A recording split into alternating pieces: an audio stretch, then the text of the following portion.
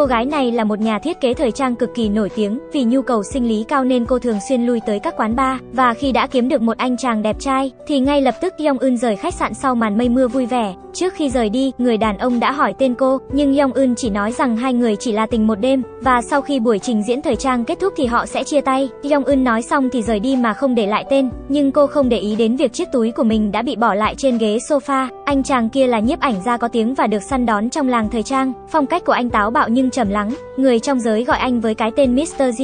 Các thương hiệu thời trang lớn đều muốn mời anh chụp ảnh cho thương hiệu của họ. Thương hiệu quần áo nước ngoài nổi tiếng Olivier thề rằng sẽ mời được Zeguk. Lúc này Yong Eun đang ở trước khách sạn Olivier, các công ty xếp hàng chiếm giữ sảnh khách sạn. Yong Eun làm việc cho thương hiệu thời trang hàng đầu Hàn Quốc. Lần này họ muốn hợp tác với công ty Olivier và cũng mong có thể có sự kết hợp bùng nổ. Yong Eun đã báo cáo tình hình hiện tại cho đại diện công ty. Đại diện Hoang là một người đàn ông thô lỗ, từng bán vải ở Đông Daemun. Ông ta chỉ nhấn mạnh rằng Yong Eun nên nói về kết quả. Chi Suk là bạn thời trung học của Yong Eun. Đại diện Hoang đang nói chuyện qua điện thoại về hoạt động kinh doanh với Yong Eun. Cùng lúc đó Chi Suk cũng gọi đến, cô đành lấy chiếc điện thoại khác ra nghe. Chi Suk tức giận nói sẽ đi đánh ghen kẻ thứ ba.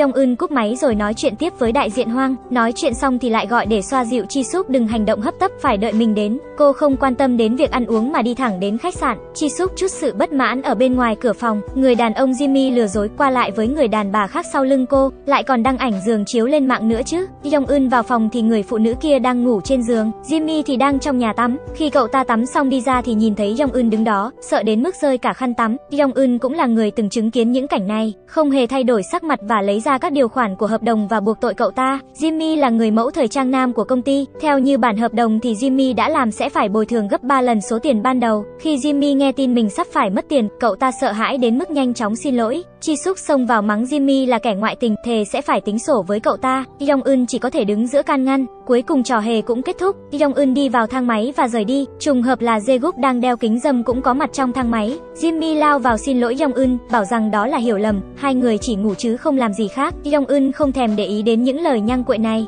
Jae ở một bên nghe được thì lại hiểu lầm mối quan hệ của cô và Jimmy. Khi cả hai rời khỏi thang máy, biểu cảm trên khuôn mặt Jae có chút phức tạp. Mặc dù Jimmy đã rút lui khỏi hiện trường, nhưng trong phòng thì vẫn đang diễn ra cuộc chiến giữa kẻ thứ ba và Chi xúc Sau một trận đánh nhau, theo phân tích tình hình chiến đấu, kẻ thứ ba chiếm thế hơn. Chi xúc yêu cầu cô ta xóa ảnh của hai người, nếu không sẽ ảnh hưởng đến hình ảnh của công ty. Công ty cũng có thể buộc cô ta phải chịu trách nhiệm. Nghe thấy kiện cáo thì ả ta miễn cưỡng xóa ảnh. Yong Eun và Jimmy ngồi xuống giải quyết vấn đề. Tại quán cà phê, hai bên đã ký hợp đồng bổ sung. Nếu Jimmy tái phạm lỗi này thì sẽ phải đền hợp đồng thật. Lần này tất cả sẽ chỉ coi là hiểu lầm. Do Hun gặp Jae cũng ở quán cà phê này. Do lỗi đặt phòng nên Jae phải ở chung phòng với Do Hun. Quan điểm của anh về hôn nhân nhất quán một cách đáng ngạc nhiên với quan điểm của Yong Eun. Anh nói là một người không muốn kết hôn và muốn tận hưởng khoảnh khắc tự do này, chỉ cần giữ khoảng cách thì sẽ không ai có thể làm tổn thương anh ta được hết. Khi rời đi, Jae nhìn thấy Yong Eun đi ra khỏi quán cà phê, nghe cuộc trò chuyện giữa Yong Eun và Chi Suk, rằng quả thực có thể bị hấp dẫn bởi xác thịt khi say, và Yong Eun còn nói đừng quan tâm đến chuyện này nữa. Trong một khoảnh khắc, Jae đã hiểu ra người phụ nữ trước mặt cũng giống mình. Olivier mãi không xuất hiện nên cuộc hẹn với ông ta có thể sẽ phải hoãn lại sang ngày mai. Chi Suk đắm chìm trong nỗi tuyệt vọng khi bị đàn ông phản bội. Cô lấy rượu ra giải sầu và không còn mang gì đến những chuyện khác nữa. Thấy không đến bữa tiệc lúc 7 giờ tối được, Yong Eun chỉ có thể vội vàng trở về khách sạn để xoa dịu cô gái trẻ đang thất vọng trong tình yêu này. Bữa tối nay là một buổi xem mắt do đại diện Hoang sắp xếp cho cô. Bố mẹ hai bên từng là bạn bè thân thiết mong có thể thành thông gia. Vì lòng tốt và lẽ phải, Yong Eun đã khuyên Chi Súp đừng tin vào tình yêu mua bằng tiền và cũng đừng động lòng gì với cái tên Jimmy đó nữa. Hãy nên chọn một đối tượng phù hợp với bản thân. Chi Súp phản bác tối qua Yong Eun cũng không về nhà. Yong Eun vẫn còn chút dư vị khi nghĩ về đêm qua. Chi Súp thực sự khó xử cô không muốn đi xem mắt nên đã đề nghị để Yong Eun đi thay mình. Yong Eun sẽ không đồng ý với yêu cầu vô lý như vậy. Nhưng tiếc là đại diện Hoang lại giao trọng trách quản lý Chi Súc cho cô. Nếu Chi Súc làm sai, đại diện Hoang sẽ mất mặt. Xong rồi Yong Eun sẽ bị khiển trách. Đối tác xem mắt Jae vẫn đang đợi Chi Súc, Anh cũng bị mẹ mình lừa đi xem mắt. Ngay khi anh chuẩn bị rời đi thì Yong Eun đã đến cuộc hẹn thay cho Chi Súc. Ban đầu cô muốn lấy chuyện công việc ra làm cái cớ rồi rời đi, nhưng nhìn thấy bữa tối trên bàn thì Yong Eun đột nhiên không thể đi được, cả ngày bận quá đến nỗi không ăn nổi một bữa. Cô tự mình bước đến bàn và bắt đầu ăn, Jae cũng ngồi xuống và thưởng thức bữa tối. Trong bữa tối, Yong Eun bận nghe điện thoại, thấy có hơi thất lễ, Yong Eun giải thích rằng vốn dĩ khoảng thời gian này trong ngày là lúc cô làm việc. Jae bắt đầu tò mò về cô hơn, rốt cuộc thì công việc gì có thể khiến cô đi bắt gian vào sáng sớm, xem mắt vào tối muộn. Jae nhận ra cô và bảo rằng mình là một nhiếp ảnh gia, có thể sau này sẽ gặp lại. hoặc có thể đã gặp nhau từ trước rồi, nhưng Yong Eun không có ấn tượng về anh ta, chỉ nói xin lỗi rồi rời đi. Yong Eun vừa ra khỏi khách sạn thì nhận được cuộc gọi từ đồng nghiệp, việc đã ấn định in tạp chí xảy ra vấn đề, tệ hơn là bản gốc đã bị mất, chỉ có thể quay bù vào ngày mai nhưng lại không còn thời gian để hẹn với nhiếp ảnh gia.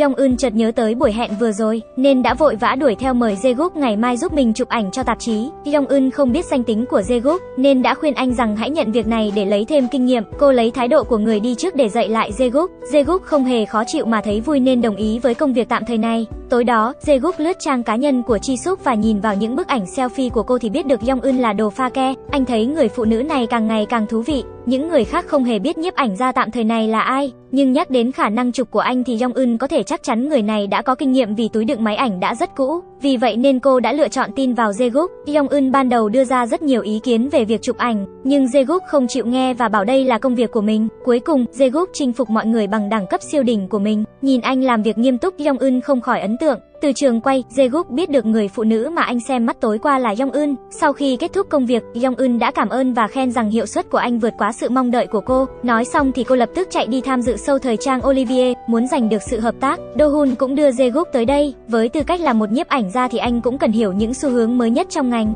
Jae-guk nhắc Do Hun đừng cấu kết với mẹ để lừa mình đi xem mắt. Sau đó, Yong Eun hay tin Olivier đã ký hợp đồng với đối thủ VIA, vậy nên những bức ảnh mà họ mất công chụp giờ không còn tác dụng gì nữa. Cô đồng nghiệp Nari không nuốt được cục tức này nên đã thuê người của bên tổ chức sâu thời trang chụp lại ảnh dự thi để tung lên mạng. Trước buổi trình diễn thời trang của Olivier, thì tất cả khách vào địa điểm phải nộp điện thoại để ngăn việc dò dỉ ảnh ra ngoài. Yong Eun đã kịp thời phát hiện và ngăn lại. Với tư cách là một nhà thiết kế, cô hiểu cảm giác bị đánh cắp ý tưởng là như thế nào. Điều cô muốn là sự cạnh tranh nghiêm túc. Sau đó, Yong Eun đến dự bữa tiệc mừng của Olivier và Via để tìm gặp chủ tịch Olivier cố gắng lần cuối. Cuộc nói chuyện này đã được Jae-guk nghe được. Anh ngày càng đánh giá cao người phụ nữ này. Từ buổi biểu diễn đến bữa tối của Olivier, Yong Eun vội vàng tới hiện trường. Với tư cách là Mr. G, Jae-guk cũng được mời tham dự bữa tối. Anh đã định sẽ không đến nhưng nghĩ đến cuộc đàm phán của Jong Eun thì anh đã đi theo. Ở ngoài sảnh, Jae-guk đã đụng phải Chi Suk. Anh đã lịch sự đỡ Chi Suk khi cô suýt bị ngã dập mông. Chi Suk không biết người đàn ông cao và đẹp trai này lại là đối tượng xem mắt mà cô đã từ bỏ. Cô ngay lập tức bị thu hút bởi chàng. Jaegook nghe trộm phía sau Yang Eun, anh cũng muốn biết tác phẩm anh đảm nhận cho đội Yong Eun có thể nhận được sự chấp thuận của Olivier không. Yong Eun thuyết phục Olivier cân nhắc làm việc với họ, nhưng Olivier là một doanh nhân chỉ quan tâm đến tiền bạc. Via đưa ra mức giá gấp 3 lần. Yong Eun hoàn toàn không có khả năng chiến thắng. Jaegook nghe thấy vậy thì đẩy cửa đi vào. Hóa ra Olivier không thích tác phẩm của anh nên không cần hợp tác nữa. Anh lấy những bức ảnh và rời đi cùng Yong Eun, để lại chủ tịch ham tiền này với những tiếc nuối. Hai người uống mấy chén thì Yong Eun lại nhớ ra, nhớ đến đối tượng mây mưa cùng mình vào đêm đó chính là Jae Gook, nhưng cô cố chấp và không thừa nhận lại còn vạch rõ ranh giới với anh. Sau buổi trình diễn thời trang, cô sẽ từ Busan về Seoul và Jae-guk nói rằng anh sẽ đợi cô ở Seoul. Yong Eun không muốn bị vướng mắc và nhanh chóng rời đi. Jae-guk gọi tên Chi Suk, điều này cũng làm Chi Suk và Do Hun đang có mặt nghe thấy. Yong Eun thừa nhận cô không phải Chi Suk. Jae-guk mỉm cười và nói ra cái tên Yong Eun. Tuần lễ thời trang kết thúc cả hai trở về Seoul.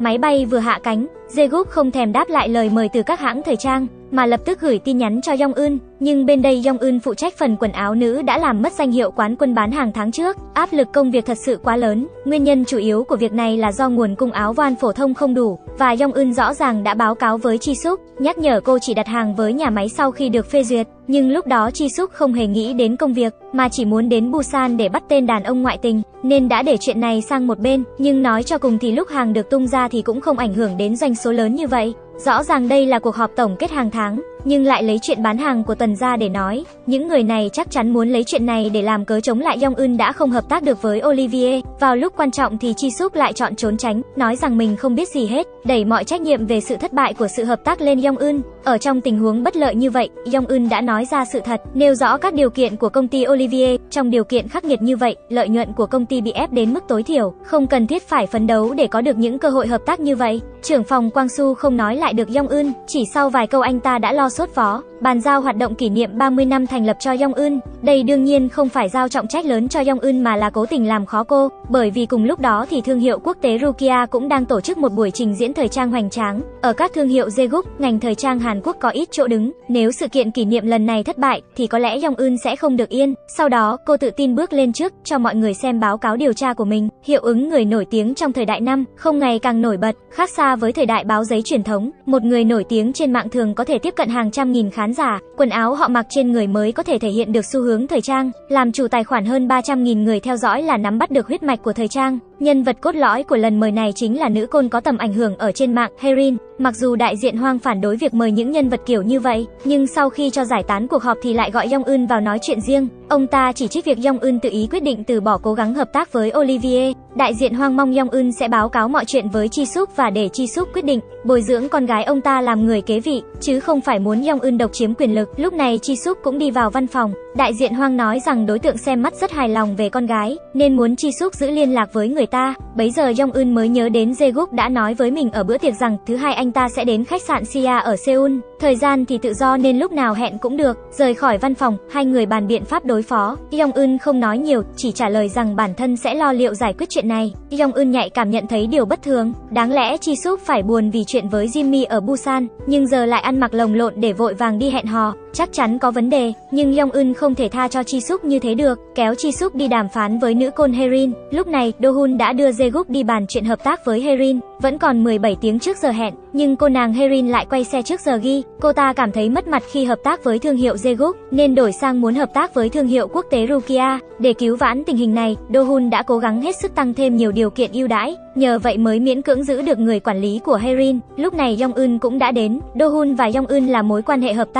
bốn người ngồi lại một chỗ, Chi cứ đắm chìm trong nhan sắc của Jae đôi mắt của Jae không thể ngừng nhìn chằm chằm vào Yong Eun. Yong Eun cũng không hề đáp lại, cô định rời đi sau khi giải quyết xong vấn đề, nhưng Chi không muốn đi. Yong Eun đang nóng lòng muốn chạy trốn đã nói thẳng với Chi Suk, là cuộc xem mắt của cô. Jae đuổi kịp Yong Eun và hỏi cô tại sao lại trốn tránh mình. Yong Eun không trả lời, dứt khoát rời đi, còn Jae thì cứ thế nhìn cô nhẫn tâm bỏ đi. Sau đó thì anh nhận được cuộc gọi của mẹ, hai mẹ con gặp nhau như người xa lạ, như thể họ đang phải đeo một lớp mặt nạ nữa vậy. Cho đến khi mẹ dục Zeguk về quê xem mắt thì mới phá vỡ sự yên lặng. Zeguk nói rằng năm đó anh trai của anh Hẹo cũng vì mẹ ngăn cản chuyện hôn nhân, nên giờ Zeguk sẽ sống ở ngoài, đến ngày dỗ của anh trai thì mới về. Nói xong thì anh đứng dậy về nước, mẹ của Yong Eun đúng lúc này cũng đi ngang qua, bà thấy anh khôi ngô tuấn tú nên đã chủ động bắt chuyện với mẹ anh. Hai bà mẹ cùng nhau học lớp nấu ăn, mẹ của Yong Eun, bà Jeong Ja đã nghe chuyện mẹ Jae bà Hee ốc có con trai từ nước ngoài trở về, hôm nay tận mắt nhìn thấy thì quả đúng là một người tài. Bà Jeong Ja vui mừng khôn xiết vì chuyện hôn nhân của con gái không cần lo nữa. Gia đình Yong Eun đi mua sắm để chuẩn bị dự lễ nghỉ hưu của bố. Trong khoảng thời gian này, bà Jeong Ja liên tục thuyết phục con gái làm quen với Jae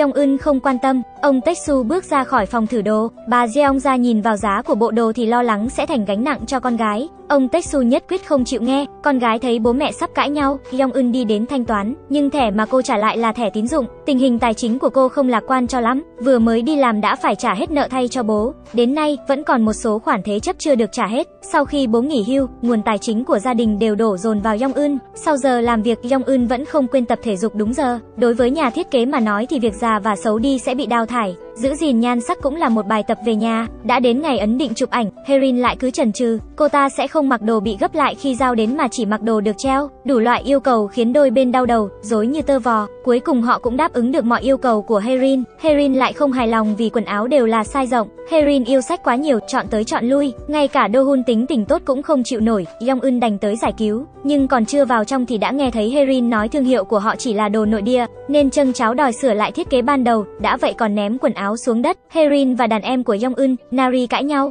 Yong Eun bước vào cúi đầu xin lỗi đối phương và thêm vào điều khoản rằng sẽ có trang sức phiên bản giới hạn Cartier. Herin cũng không chịu nghe, nhất quyết yêu cầu họ sửa đổi thiết kế, nói xong thì bỏ đi. Cả đội choáng ngợp trước tính khí khó ưa khó chiều của nữ côn này. Yong Eun xoa dịu mọi người rằng tạm thời cúi người trước Herin là vì để cô ta có thể tuyên truyền ra bên ngoài, để nhiều người thấy được sức mạnh và sự nỗ lực của tập thể. Chỉ có như vậy thì những nỗ lực trước đó sẽ không vô ích, các đồng nghiệp ngay lập tức có động lực, nhưng thời gian đang cấp bách, thiết kế không thể thay đổi mà chỉ có thể đổi nữ côn khác. Yong Eun quyết định cố gắng hết sức để mời Du Dung tham gia. Nhìn Yong Eun đang làm việc chăm chỉ mà lòng Jae có chút xót xa, nên anh đã mang cho cô một tách cà phê. Màn hình nền điện thoại của Yong Eun thu hút sự chú ý của anh. Từ quan điểm chuyên môn của mình thì anh nói bố cục và ánh sáng bị rối tung, nhưng Yong Eun thích cảm giác kể chuyện sâu sắc qua bức ảnh này. Những lời này khiến Jae vô cùng cảm động. Chụp được ra tác phẩm làm người ta cảm động chính là một tác phẩm tuyệt vời. Bức ảnh này chụp hồi Yong Eun đang du học ở Pháp, cô đã mua nó với giá 20 euro. Hồi đó cô đi theo Chi Suk tới Paris, Chi Suk tận tâm tận hưởng niềm vui và giao hết bài tập về nhà cho Yong Eun. Yong Eun du học là thay Chi Suk đi học ở học viện thời trang Paris. Cô phải thức khuya mỗi ngày để hoàn thành bài tập về nhà. Jae-guk bị thu hút bởi cô gái phát sáng trước mặt mình, kiểu mà càng đi sâu vào càng đắm chìm trong đó ấy. Còn nhiều việc phải làm trong lễ khai mạc, Yong Eun nhờ Jae-guk giúp mình cầm quần áo. Yong Eun tưởng anh rất nhàn rỗi nhưng Jae-guk phản bác rằng chỉ rảnh với một mỗi cô mà thôi. Nếu những từ này mà được nghe trong quá khứ thì chắc chắn sẽ làm con tim của Yong Eun xốn sang, nhưng Jae-guk là người xem mắt của Chi Suk, nên cô không thể chen chân vào được, Yong Eun đành phải vạch rõ ranh giới. Jae-guk quay sang nói với Yong Eun rằng ngày mai anh sẽ đi Paris, buộc Yong Eun phải đối mặt với cảm xúc của hai người. Sự đáp lại của Yong Eun là một nụ hôn hời hợt, ngay khi Jae-guk muốn nụ hôn sâu hơn thì Yong Eun lùi lại một bước, ý tứ rằng chỉ nên dừng lại ở đây. Jae-guk hỏi cô sẽ đến tuần lễ thời trang Paris vào năm tới chứ? Yong Eun không trực tiếp từ chối và hai người hẹn gặp nhau vào năm sau. Sau sau khi chia tay, Yong Eun gửi ảnh cho Jae-guk. Điều cô không biết được là người chụp bức ảnh đó chính là Jae-guk thời còn trẻ. Thì ra số phận của hai người ngay từ khi ở xứ lạ đã bén rễ và đâm chồi. Rời Hàn Quốc, Jaeguk đã âm thầm thuyết phục được Du Dung. Sự xuất hiện của cô đã giải quyết được rắc rối lớn trong lễ khai mạc. Lễ khai mạc diễn ra tốt đẹp, Herin đã gọi cho Do Hun để mắng anh xối xả.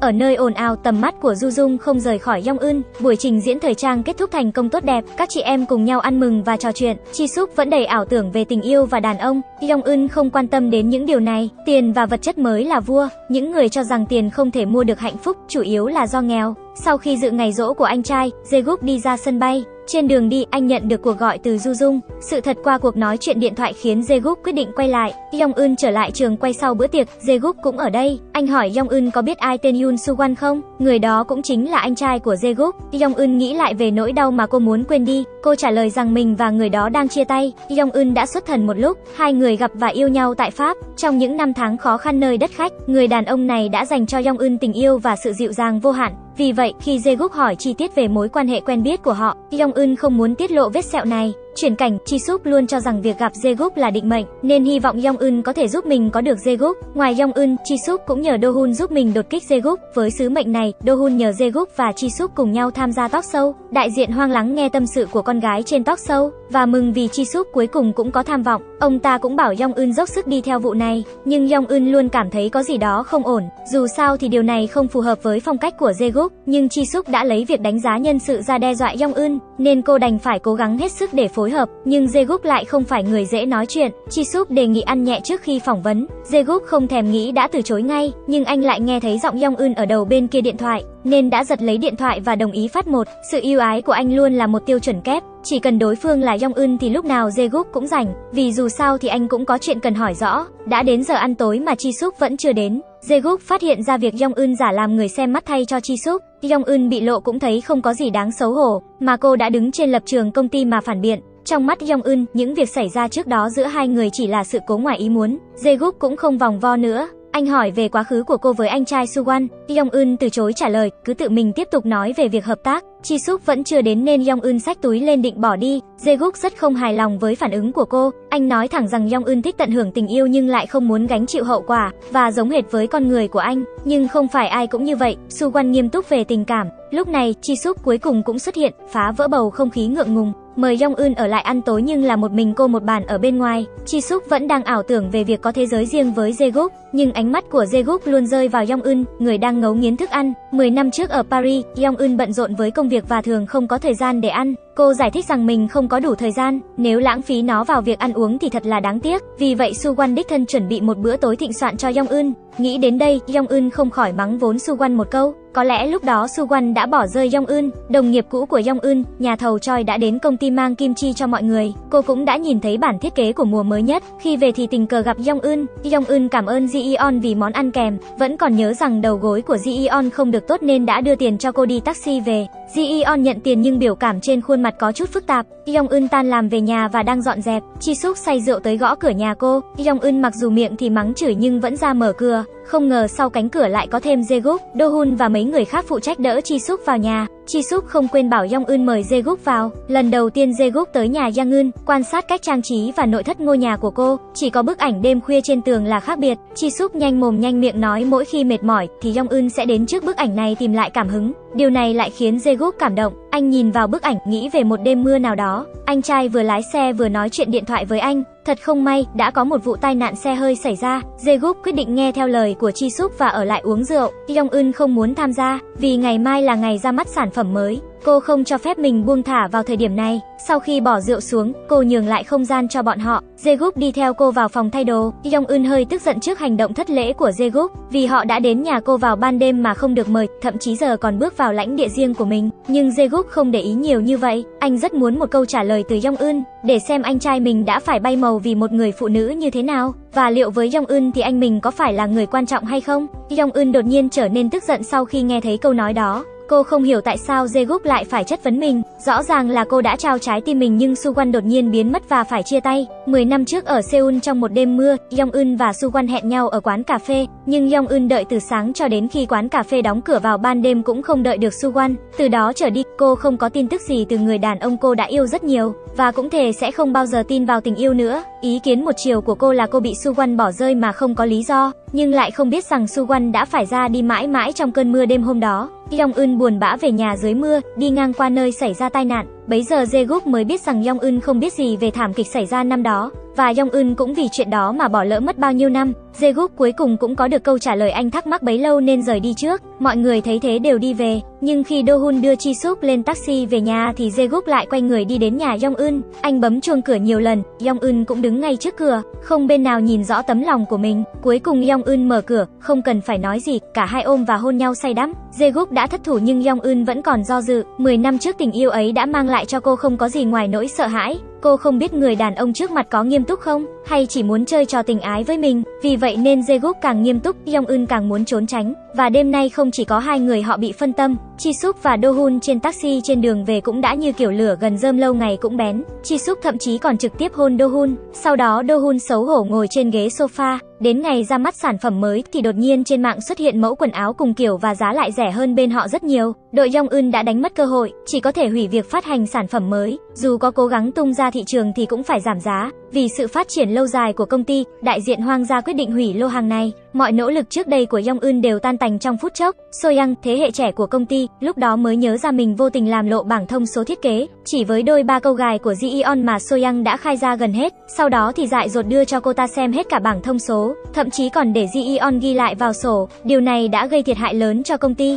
Soyoung tự trách mình nên đã nộp đơn từ chức cho Yong Eun. Yong Eun không chấp nhận. Sau khi phạm sai lầm, lẽ ra không nên nghĩ đến việc từ chức và bỏ chạy, mà lấy đó làm gương, làm việc chăm chỉ hơn trong tương lai. Nói xong Yong Eun trực tiếp đi đến xưởng nhỏ của Ji Eon. Ji Eon không hề cảm thấy tội lỗi, nói rằng cái giới này là vậy, đạo nhái là chuyện thường tình, sẽ không lâu nữa Đông Daemun sẽ có vô số bản nhái. Yong Eun thừa nhận, nhưng Ji Eon không nên lợi dụng Soyang, khiến cô ấy phải gánh chịu mọi hậu quả. Ji Eon phàn nàn với Yong Eun rằng cô ta cần phải hỗ trợ gia đình mình, nhưng ai cũng có khó khăn riêng, đây không phải là cái cớ để đạo nhái, ăn cắp ý tưởng. Nói xong, Yong Eun nhắc nhở rằng mình sẽ chuẩn bị khởi kiện. Sau khi rời đi, Yong Eun đã đến Đông Daemun, cô thấy cửa hàng nào cũng treo phong cách của Du Dung, mẫu quần áo mà cô đã dày công thiết kế trước đây giờ lại thành mặt hàng của người khác. Yong Eun không can tâm, cô chợt nhớ ra Jae-guk đã nói với mình rằng hãy đi theo trái tim, vì vậy Yong Eun quyết định đi ngược lại mong muốn của đại diện Hoang không tiêu hủy quần áo và cứ bán như bình thường. Mặc dù họ đã mất đi lợi thế dẫn đầu, nhưng cô tin rằng với thiết kế của mình thì người tiêu dùng có thể phân biệt đâu là hàng thật. Quần áo của các thương hiệu lớn bị bắt trước khắp nơi, nhưng vẫn có người sẵn sàng mua hàng chính hãng với giá cao. Sau khi Quang Su biết chuyện, anh ta nhân cơ hội tấn công, yêu cầu Yong Eun đến văn phòng mình.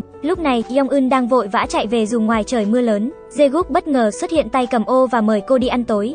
Yong Eun muốn từ chối, nhưng Jae-guk lại nói những lời thuyết phục giống như Suwon, cho dù chỉ là một bữa ăn thì cũng nên tận hưởng. Lúc này, Yong Eun thật sự bắt đầu tò mò rốt cuộc mối quan hệ của Jae-guk và Suwan là như thế nào. Jae-guk nói sự thật rằng hai người là anh em, và Suwan đã qua đời 10 năm trước. Yong Eun trợn tròn mắt ngạc nhiên, 10 năm oán hận hóa ra là hiểu lầm. Tin này không làm cô nhẹ nhõm hơn, ngược lại còn khiến cô rơi vào trạng thái xuống dốc. Những cảm xúc chưa được giải quyết thì sự nghiệp cũng bị giáng một đòn nặng nề. Yong Eun kiên quyết chủ động tung ra các mẫu mới, nhưng lượng tiêu thụ rất ít, không đáp ứng được mong đợi. Ngay cả với giá trị của nhiếp ảnh gia nổi tiếng Mr. G cũng không cứu được thế cục này. Mặc dù công ty của Yong Eun vẫn là kẻ dẫn đầu ngành thời trang Hàn Quốc, nhưng trong những năm gần đây nó đã trở nên yếu thế hơn. Vì vậy, các trung tâm mua sắm lớn cũng chuyển mình theo thời đại, chuyển gian hàng của họ từ khu A đến khu B, nên bây giờ đã đến lúc công ty phải thay đổi. Quang Su lại nhân cơ hội này đổ hết trách nhiệm lên vai Yong Eun. Yong Eun cũng không phản bác miếng nào, chỉ biết xin lỗi mọi người, nhưng đại diện Hoang là người sáng suốt nên vẫn bàn giao nhiệm vụ ủy quyền thương hiệu cho Yong Eun. Với tình hình không có thị trường cho thương hiệu nội và chạy theo xu hướng chung của thương hiệu nước ngoài thì không thể đổ lỗi mọi thứ lên vụ đạo nhái này được.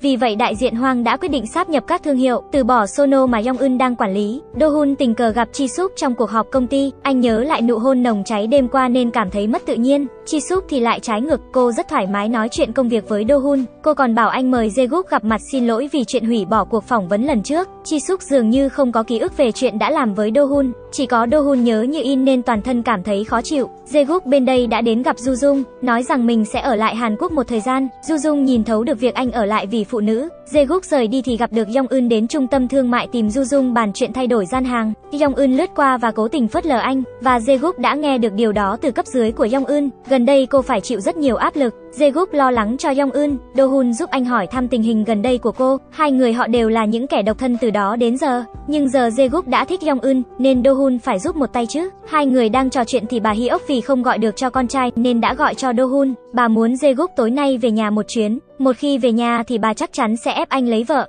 Jae-guk không muốn nên đã mặt dày xin đến sống ở nhà Do Hun. Gần đây Yong Eun không có tinh thần, cấp dưới vừa nhìn đã biết cô đang có chuyện, vì không muốn làm việc nên Yong Eun hẹn với bạn thân Misuk. Misuk hiện đang ở nhà trông con, chồng cô, Suho là đồng nghiệp với Yong Eun, vốn dĩ Misuk muốn chồng đưa cô đi ăn đi mầm, nhưng anh ta lại giả vờ như không thấy tin nhắn, nên Misuk mới gọi Yong Eun đi ăn cùng. Trước mặt bạn thân, Yong Eun cuối cùng cũng buông bỏ lớp ngụy trang, cô khóc và cay đắng nói người yêu 10 năm cô chờ đợi đã qua đời. Ở một diễn biến khác, Chi Suk hoàn toàn không nghĩ đến công việc, trong đầu chỉ nghĩ tại sao dạo gần đây Do Hun lại hỏi mình về Yong Eun. Cô đã hiểu nhầm Do Hun thích Yong Eun, thế là cô đi thẳng xuống tầng dưới công ty của Do Hun. Cô đi thẳng vào vấn đề nói hai người đến nhà Do Hun nói chuyện. Do Hun tưởng rằng sẽ có chuyện gì đó xảy ra với mình, nhưng Chi Súp lại bảo mình đến là vì nghe nói Jae-guk sống ở đây. Yong Eun nói với cô rằng thật ra Jae-guk là đối tượng xem mắt của cô, thậm chí Chi Súp còn hiểu lầm rằng Do Hun thích Yong Eun. Cô còn mạnh miệng nói sẽ giúp Do Hun đuổi theo Yong Eun. Nghe thấy vậy, Do Hun biết rằng hai người chắc không có duyên với nhau. Trong khi Do Hun đang pha cà phê, Chi Súp đã lẻn vào phòng Jae-guk.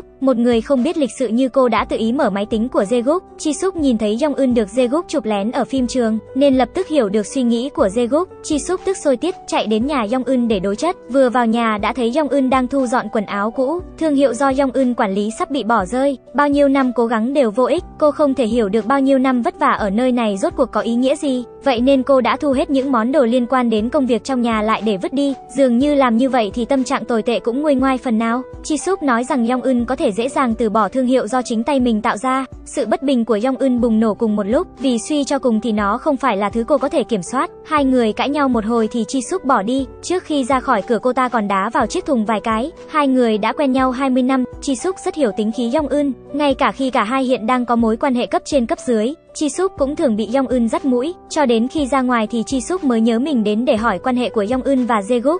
Yong Eun thấy cuốn sổ tay rơi ra khi đóng gói đồ đạc, dòng chữ sự nhiệt huyết của bạn cuối cùng sẽ được đền đáp, được viết trên đó đã động viên cô một cách sâu sắc, nhắc nhở cô về ý định ban đầu khi tạo ra thương hiệu này. Yong Eun quyết định không từ bỏ dễ dàng như vậy. Bạn của Yong Eun, Súp cứ tưởng mình đang mang thai đứa con thứ hai nên đã đi khám, nhưng bác sĩ bảo với cô rằng triệu chứng nôn mửa không phải do mang thai, rất có thể là do vấn đề ở nơi khác trong cơ thể. Sự khó chịu về thể chất cộng với sự vô tâm của chồng, Misup cảm thấy mệt mỏi, nhưng khi nhận được cuộc gọi từ Yong Eun, cô vẫn phải giả vờ gia đình ba người của mình vẫn hạnh phúc. Misup không có nơi nào để bày tỏ nỗi buồn. Buổi tối, Jae-guk trở về nhà ăn tối với mẹ, nhưng không muốn ở lại. Anh đã nói với mẹ rằng mình đã yêu một cô gái ở tuần lễ thời trang và đang đợi cô ấy đưa ra quyết định rồi mới dẫn về cho mẹ gặp mặt. Sau bữa tối, Jae-guk đến ngã tư nơi anh trai Suwon bị tai nạn xe. Chuyện xảy ra khi Suwon đang trên đường đi gặp Yong Eun. Đúng lúc đó thì Yong Eun gọi điện đến, hứa sẽ cùng Jae-guk đến thăm Suwon tại nghĩa trang vào ngày hôm sau. Năm xưa, Suwon không chắc chắn về việc có nên khuyên Yong Eun tài năng về nước hay không.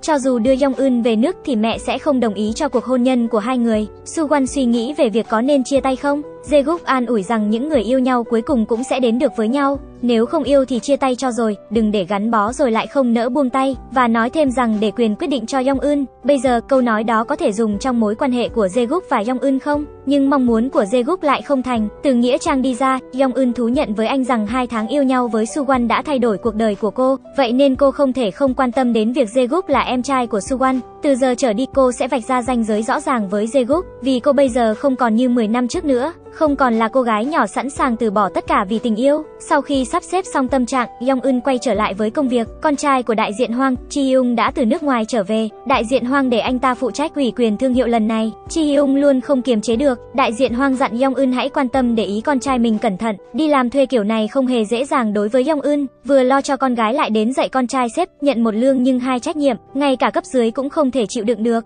nhưng với điều kiện chỉ dạy Chi Hyung, đại diện Hoang cho phép cô đưa Sono đi chuyến cuối cùng. Đây là bước ngoặt cấp dưới lo ngại về tương lai của Sono. Yong Eun nói với họ thương hiệu Sono sẽ tiếp tục hoạt động thêm hai mùa nữa. Sau đó, thương hiệu chính thức sẽ được kế vị, kể từ giờ quần áo của họ sẽ được bán với nhãn hiệu nước ngoài. Chỉ bằng cách này mới có thể cứu vãn được sự sụt giảm doanh số bán hàng. Cấp dưới có quyền tự do lựa chọn đi hay ở, nhưng tất cả họ đều nói họ muốn ở lại. Tình hình hiện nay không hẳn là tệ, không có áp lực doanh số, cuối cùng họ cũng có thể thể hiện tài năng của mình, thiết kế tác phẩm yêu thích và Chi yung trở thành trainee mới, học từ những thứ căn bản. Sau khi giải thích về công việc, Yong Eun không khỏi nghĩ đến Jaegook, cô tự động viên mình, vạch rõ ranh giới với Jaegook là lựa chọn đúng đắn. Đang nghĩ thế thì Jaegook từ phía đối diện đi đến, cả hai dần dần tiến lại gần. Jaegook nói với Yong Eun rằng sẽ để cô quyết định xem mối quan hệ của họ sẽ đi về đâu, nhưng anh vẫn muốn hỏi một câu, cô có nhớ không? Đôi mắt của Yong Eun hơi đỏ khi cô nhìn Jae-guk trước mặt, nhắc mới nhớ, Jae-guk là người biết Yong Eun trước, anh còn nhận nhiệm vụ viết thư giới thiệu cho Yong Eun và viết lời động viên đó vào sổ tay của cô. Sự nhiệt huyết của bạn nhất định sẽ được đền đáp, nhưng Jae-guk bận việc nên đã nhờ anh trai mình chuyển nó cho cô. Nhờ thế mà Yong Eun với Su Won mới yêu nhau, đúng là tạo hóa chớ trêu. Nếu Jae-guk là người tự đi đưa thư giới thiệu, nếu khi Yong Eun mua bức ảnh đó mà Jae-guk không rời đi, thì có khả năng hai người sẽ yêu nhau 10 năm trước rồi không? Hai người lướt qua nhau và bỏ lỡ 10 năm, nhưng quá khứ không thể thay đổi được. Khi Ju Dung nhắc nhở anh về mối quan hệ của Yong Eun và Su Wan,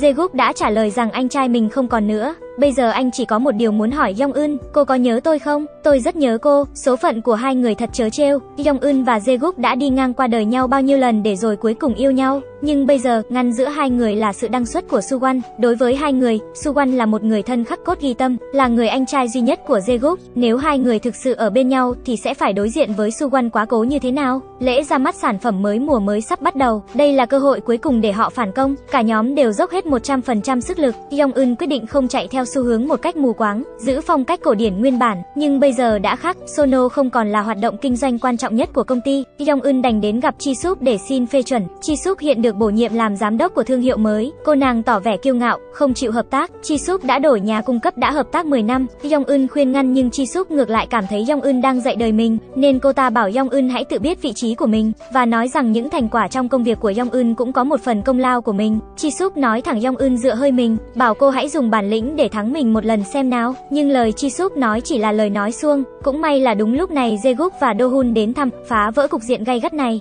Jae-guk đã quyết định ở lại Seoul, gia nhập công ty của Dohun và đơn hàng đầu tiên của anh là thương hiệu mới mà Chi Suk phụ trách. Hai công ty đã hợp tác thì Jae-guk không còn lo không có cơ hội gặp Yong Eun nữa. Chi Hyung cầm một cốc cà phê xuất hiện ở công ty một cách ngu ngốc. Yong Eun nói rằng anh ta nên thể hiện thái độ làm việc, đừng lười nhác như thế. Chi Hyung ban đầu cũng không quan tâm, nhưng thấy Yong Eun nghiêm túc thì sẽ ngoan ngoãn tìm việc gì đó để làm. Chi Hyung lấy thân phận là con trai của đại diện Hoang để lấy danh sách các nhà máy sản xuất vải hợp tác lâu dài từ chỗ của Quang Su. Chuyển cảnh ở phía bệnh viện, đã có kết quả xét nghiệm do việc nôn mửa của Misuk. Bác sĩ bảo cô bị ung thư tuyến tụy. Loại ung thư này di căn dễ dàng và khó phát hiện. Tình hình hiện tại không lạc quan, cần phải kiểm tra thêm. Misuk chỉ cảm thấy chóng mặt và choáng váng một lúc, và chồng cô lúc này đang đò đưa với Seo Min Ki Ong, lấy cớ công việc, cả hai tán tỉnh nhau trong công ty. Anh ta còn tặng Min Ki Ong một chiếc vòng tay Cartier. Misuk muốn thông báo cho chồng về kết quả kiểm tra. Kết quả là Min Ki Ong đã trả lời điện thoại. Cô ta đắc thắng nhìn chiếc vòng tay hứa hẹn, đồng thời giả vờ lừa Misuk rằng chồng cô đang đi họp. Misuk không biết gì về chồng, nên chỉ có thể đặt lịch khám ở bệnh viện một mình. Đại diện Hoang nhìn thấy Jaeguk đang nói chuyện với Chi Suk trong văn phòng. Chi Suk mê trai thì bố cô cũng nhìn ra được dù chỉ đứng ở bên ngoài. Yong Eun nói với ông ta rằng nhiếp ảnh gia này là đối tượng xem mắt của Chi Suk. Lúc này đại diện Hoang mới nhớ ra nên gọi Jaeguk vào nói chuyện. Khó xử nhất là những chuyện ông ta nói đến đều liên quan đến chuyện cũ của Su Zeguk thì vẫn luôn ở Paris và rất hiếm khi về nước, thậm chí người mà hai gia đình muốn liên hôn cũng là Suwon. Sau cái hẹo của Suwon, cuộc hôn nhân chuyển sang Zeguk, Yong Eun cảm thấy kỳ lạ khi quen mình. Suwon không hề nhắc đến việc có một cậu em trai, nhưng tại sao cùng là con trai mà Zeguk lại luôn phải ở Pháp? Trước khi kịp hiểu ra thì Zeguk đã tìm một cái cớ để ở riêng với cô, hình như đã nhìn ra được nghi vấn của Yong Eun. Zeguk chủ động giải thích rằng anh và Suwon là anh em cùng cha khác mẹ, và mẹ hiện tại của anh là mẹ của Suwon, nhưng anh không bị đối xử khác biệt. Sự thẳng thắn của anh khiến Yong Eun cảm thấy khó chịu, nhưng Jaeguk không ngại nói về quá khứ. Anh rất vui vì Yong Eun quan tâm đến mình, liên tục mời cô đi ăn tối. Chi Hyung bước vào và cắt ngang cuộc trò chuyện của họ, họ sẽ cùng nhau đi tìm nhà máy. Jaeguk đánh hơi được tính chiếm hữu của Chi Hyung đối với Yong Eun, cảm giác có nguy cơ bị cướp bồ, cả hai bắt đầu đến xưởng may, nhưng nhà máy tâm đắc thì không dễ tìm, cần đảm bảo hiệu quả và đảm bảo bản thiết kế không bị dò gì. Cuối cùng chuyển sang vài nhà máy nhưng Yong Eun vẫn chưa chọn được, lợi dụng sự vắng mặt của Yong Eun, Chi Suk hẹn Jaeguk đi xem triển lãm để xin lỗi vì việc thất lễ khi không tự đi xem mắt.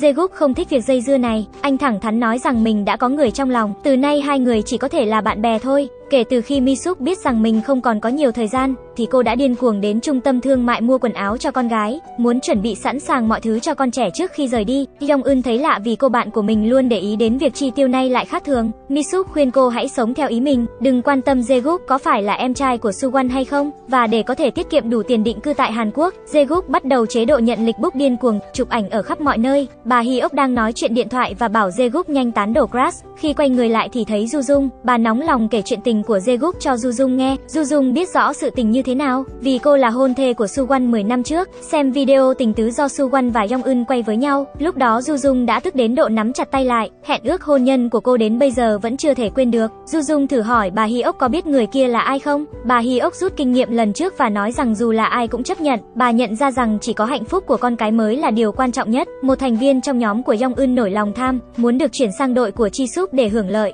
Yong Eun giả vờ như không biết, khuyên cô ta đừng nóng vội, chỉ khi thể hiện công việc của mình một cách thực tế thì sếp mới đánh giá cao. Chi Hyung cười việc Yong Eun dùng đôi ba câu đơn giản để giữ người ta lại. Yong Eun không quan tâm vì trong đầu cô có kế hoạch sẵn. Mặt khác khi chụp ảnh trên đường phố thì Jae-guk vô tình chụp lại cảnh ăn vạ. Anh tình nguyện cung cấp đoạn phim này cho cảnh sát. Rõ ràng là chàng trai trẻ đã tự mình ngã xuống, nhưng cứ nói ông già tự đánh mình. Kết quả là chàng trai kia đã lao đến đánh Jae-guk. Yong Eun nhận được cuộc gọi và chạy đến đồn cảnh sát, phát hiện ra bố từng bị lừa tiền một lần và kẻ lừa đảo còn quay lại cắn, nói bố của Yong Eun là thô bạo với mình. Kết quả là video được quay bởi Jae-guk đã chứng minh sự vô tội của ông. Để nói lời cảm ơn bố Yong Eun, ông Taesu đã mời Jae-guk đi ăn cơm. Jae-guk cố gắng thể hiện và còn lấy cớ là nhân chứng để ông nhớ số điện thoại của mình, lúc nào liên hệ cũng được. Nhưng mẹ Yong Eun cứ dục, nên cuối cùng Yong Eun là người phụ trách mời Jae-guk. Sau nhiều lần xoay chuyển, bữa ăn của cả hai cuối cùng cũng thành hiện thực. Chi Suk không hẹn được Jae-guk, Do Hun nghỉ việc để cùng cô đi triển lãm, nhưng điện thoại công việc cứ rung liên hồi. Do Hun trực tiếp tắt máy để bầu bạn cùng Chi Suk. Chi Suk bị từ chối nên đi uống rượu giải sầu. Thực ra cô chỉ muốn tìm ai đó để yêu. Rượu vào lời ra, Chi Súc luôn ghen tị với Yong Eun. Dù ở nơi làm việc hay nơi khác thì cô ấy vẫn luôn hấp dẫn theo cách riêng. Do Hun đỡ được Chi Súc say rượu gục xuống bàn. Do Hun thì đã thầm thương cô, nhưng Chi Súc không biết gì về chuyện đó cả. Quyết tâm cho Jae-guk thấy được sức hút của mình. Một lúc sau Chi Súc tỉnh dậy trong căn hộ của Do Hun sau khi say rượu. Do Hun đã phục vụ cô tận tình. Đáng tiếc cấu trúc não của Chi Súc khác với người thường, lại hiểu lầm tâm ý của Do Hun thành xu hướng tính dục của anh bất thường. Cặp đôi oan ra ngõ hẹp này không biết bao giờ mới nói chuyện cùng tần số được. Chi Hyung đã để mắt đến cấp dưới của Yong Eun, anh đợi rất muộn và đối phương không chịu tan làm. Chi Hyung hiểu rằng nếu cứ canh chừng thì cáo sẽ không chịu lòi đuôi,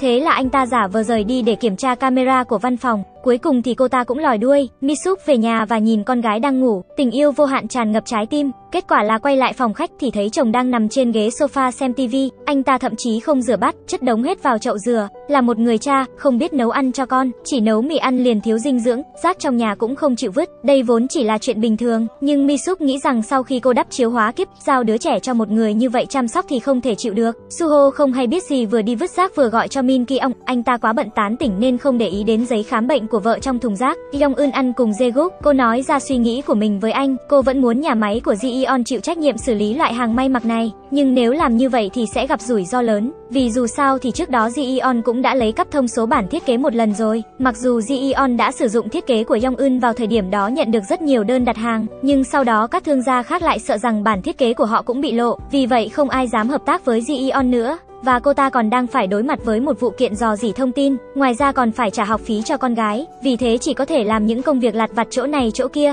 Yong Eun biết rằng cuộc sống của Ji Eon không hề dễ dàng, hơn tất cả thì những điều này là dành cho con gái cô, nếu cô tự quyết định chọn nhà máy của Ji Eon thì một khi xảy ra vấn đề, cô sẽ phải chịu toàn bộ trách nhiệm. Jae-guk khuyến khích cô làm những gì mình muốn, bằng cách quyết định tin vào nhân loại một lần nữa, giao phó công việc cho Ji Eon. Sau khi chọn xong nhà máy, Jae-guk đưa Yong Eun về nhà, nhìn người đàn ông bên cạnh, Yong Eun cảm thấy lý trí sẽ không thể kìm nén được cảm xúc của mình, một mối quan hệ mà không mong có thể kéo dài mãi mãi, nhưng theo quan điểm của Yong Eun, cả hai đều không có kết quả, tốt hơn hết là đừng bắt đầu, nhưng nếu không thử thì làm sao biết có thể ở bên nhau đến già hay không? Yong Eun không muốn thử, cô lại một lần nữa từ chối Jae-guk, nhìn bóng lưng Yong Eun rời đi, Jae-guk dùng bức ảnh lối vào con hẻm để níu giữ, mong cô có thể thay đổi ảnh màn hình khóa. Jae-guk cuối cùng đã nói bức ảnh ở màn hình khóa của cô là do anh chụp, kể từ lúc đó số phận của cả hai bắt đầu, anh cũng sẵn sàng ở lại đây vì Yong Eun, hai người cố gắng thử hẹn hò, nếu đến lúc đó Jong Eun vẫn không thể chấp nhận anh thì sẽ chia tay. Lần này Jong Eun cuối cùng cũng phá vỡ được hàng phòng ngự, hai người đã sớm có qua lại được 10 năm, ở nơi đất khách quê người, Jong Eun bận rộn tình cờ nhìn thấy bức ảnh này, cô đã bị thu hút bởi con đường sâu thẳm trong màn đêm, giống như Jong Eun đang bối rối không tìm được hướng đi cho tương lai, đó là lý do tại sao cô mua bức ảnh này. Hóa ra những năm qua, theo cách này Jae-guk âm thầm đồng hành cùng Jong Eun qua những lúc khó khăn, mặt khác với sự nỗ lực của cả tập thể, bản thông số thiết kế của Sono cuối cùng đã được ra lò, nhưng nhưng bản thông số của thương hiệu mới hoàn toàn giống với của họ, chắc chắn có nội gián làm lộ ra. Chi Hyung biết rõ nhưng không lên tiếng, thay vào đó, anh gọi Soyang lên sân thượng để hỏi chuyện. Soyang luôn miệng phủ nhận, khẳng định rằng chưa từng làm điều gì như vậy. Yong Eun rất tức giận vì bị đạo nhái. Chi Suk biết Yong Eun sẽ không đạo nhái, nhưng người quản lý thương hiệu mới lại là Chi Suk, cô ta không thể khẳng định mình đã đạo nhái được. Yong Eun đương nhiên không muốn chịu để yên, định sẽ đi kiểm tra camera, nhưng Chi Suk chỉ nghĩ nếu có chuyện gì xảy ra thì bản thân cũng sẽ bị trách vì sự quản lý cẩu thả. Chi bằng Yong Eun thiết kế lại phong cách khác. Yong Eun không hài lòng với cách bạn mình xử lý mọi việc, nên đã lập tức mắng Chi Súp là người không ra gì, vì để đánh bại mình mà cố tình giả vờ nhầm lẫn và dung túng hành vi đạo nhái của cấp dưới. Đại diện Hoang bảo Chi Súp hãy nhanh chóng vun đắp tình cảm với Jaeguk. Sự phát triển của công ty còn phải dựa vào sự hỗ trợ từ việc vận tải của nhà Jaeguk, nhưng Chi Súp đã bị anh thẳng thừng từ chối. Nhưng cô chỉ đành nhận lời qua loa với bố cho xong. Vừa ra khỏi văn phòng của bố, Chi Súp nhận được cuộc gọi từ Do Hun. Do Hun cố tình gọi trả lại chiếc khăn lụa cho cô. Chi Súp trực tiếp coi như một món quà và tặng cho anh. Do Hun nhận được quà thì lập tức dùng khăn lụa chấm bi để làm điểm nhấn. Jae-guk đang bận giúp các nghệ sĩ chụp tác phẩm graffiti, nhưng tin tức Do Hun mang lại khiến anh chú ý.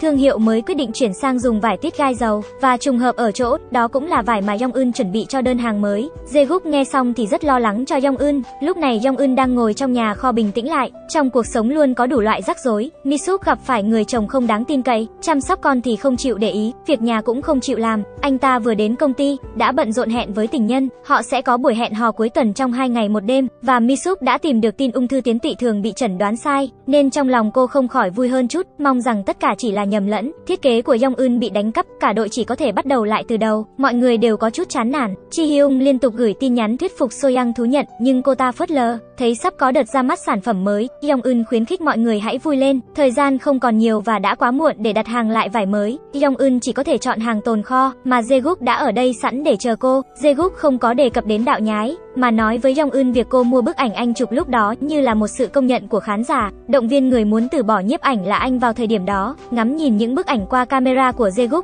Yong Eun chợt nảy ra ý tưởng. Ý tưởng thiết kế mới nhanh chóng có được làn gió mới. Chi Suk đã chủ động mời Do Hun đi ăn. Mối quan hệ giữa hai người rất thân thiết, nhưng đó không phải là loại tình yêu nam nữ như Do Hun nghĩ. Chi Suk chỉ coi anh như bàn đạp để đến gần Jae-guk hơn, thậm chí còn hiểu lầm anh là gay, giới thiệu anh với anh chàng đẹp trai khác. Điều này thực sự làm tổn thương trái tim thiếu niên của Do Hun. Chi Suk vô tình bị ngã sau khi đuổi theo anh, Do Hun ôm eo cô, khoảnh khắc này làm Chi Súp đần độn bắt đầu cảm thấy con tim loạn nhịp. Sự việc đạo nhái thiết kế đã truyền đi khắp công ty. Trong đợt điều chuyển nhân sự mới nhất, thành viên nhóm của Yong Eun, Sonju không được chuyển sang nhóm thương hiệu mới. Cuối cùng cô ta không thể chịu đựng được mà chủ động thừa nhận mình đã lấy cắp bản thiết kế đưa cho nhóm mới. Biết được chuyện này, điều đầu tiên mà Yong Eun làm không phải là mắng mỏ, mà đi tìm ra nữ nhân viên ra lệnh cho Son Ju ăn trộm bản thiết kế, cảnh báo cô ta đừng dở trò hèn hạ để làm đội nhóm của mình mất mặt, nếu không, Yong Eun chắc chắn sẽ kiện ra tòa và hủy hoại danh tiếng của cô ta. Chi Hyung biết mình đã có lỗi với Soyang, trên thực tế, hôm đó cô chỉ lấy cuốn sổ phát thảo của Yong Eun để học hỏi. Cô biết rằng chỉ bằng cách cải thiện năng lực của mình thì mới làm cho mình nổi bật được. Sau khi biết được chân tướng sự việc, Yong Eun lập tức gọi cả đội đến nhà kho họp, bao gồm cả Son Ju. Phong cách chủ đạo sẽ là chiếc áo khoác do Soyang thiết kế, bởi vì đây là lựa chọn tốt nhất trong bản thiết kế chưa giao. Về phần Sonju,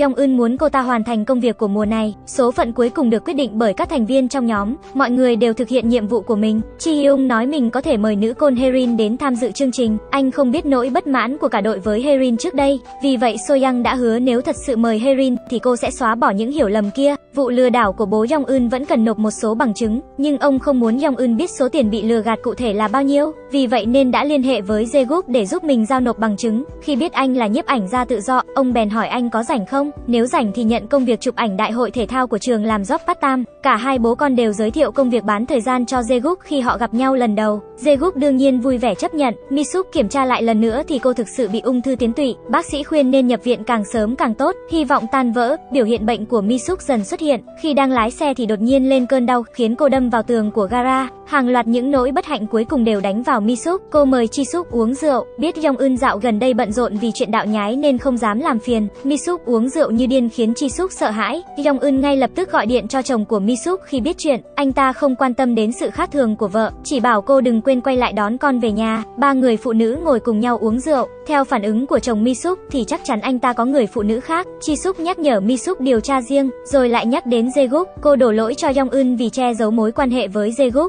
Súc không thể chịu đựng được, một người sắp đi về với các cụ như cô thì phải đi khuyên hai người đừng giận dỗi vì những chuyện vụn vặt như thế, tận dụng cuộc sống có hạn để làm điều mình muốn. Lời nhận xét này khiến Yong Eun rơi vào trầm tư. Đêm khuya, Yong Eun đang bối rối không biết mình có đủ can đảm để yêu thêm lần nữa không. Lúc này Jae-guk gọi đến vì muốn nghe giọng nói của Yong Eun. Yong Eun im lặng một lúc, Jae-guk thấy hơi vô vị nên định tắt máy. Nào ngờ Yong Eun lại đề nghị gặp mặt. Yong Eun cuối cùng đã tan chảy trước sự nhiệt tình của Jae-guk, đồng ý hẹn hò. Trải qua bao nhiêu cố gắng, cuối cùng anh cũng có được đền đáp. Ngày hôm sau, Quang Su biết Yong Eun quyết định hợp tác với Ji Eon nên đã nổi cơn thịnh nộ. May mắn thay, Chi Hyung đã xuất hiện kịp thời để giải cứu cô. Lúc đó Quang Su đang nóng lòng muốn lấy lòng thiếu gia tập đoàn này, nên đã bất giác đồng ý cho phép sử dụng nhà máy của Ji Eon. Quảng bá thiết kế cho mùa xuân và mùa hè sẽ sớm bắt đầu. Mọi thứ đang diễn ra theo đúng trình tự của nó. Herin cuối cùng cũng được mời tới đây. Tất nhiên đây đều là công lao của Chi Hyung. Cô ta từng tán tỉnh Chi Hyung nhưng cuối cùng lại bị đá. Vì thế nên lần này đồng ý với yêu cầu là do Chi Hyung sẽ phải phục tùng cô ta trong 100 ngày. Lần này thì họp báo của Sono chọn ra mắt theo hình thức mạng,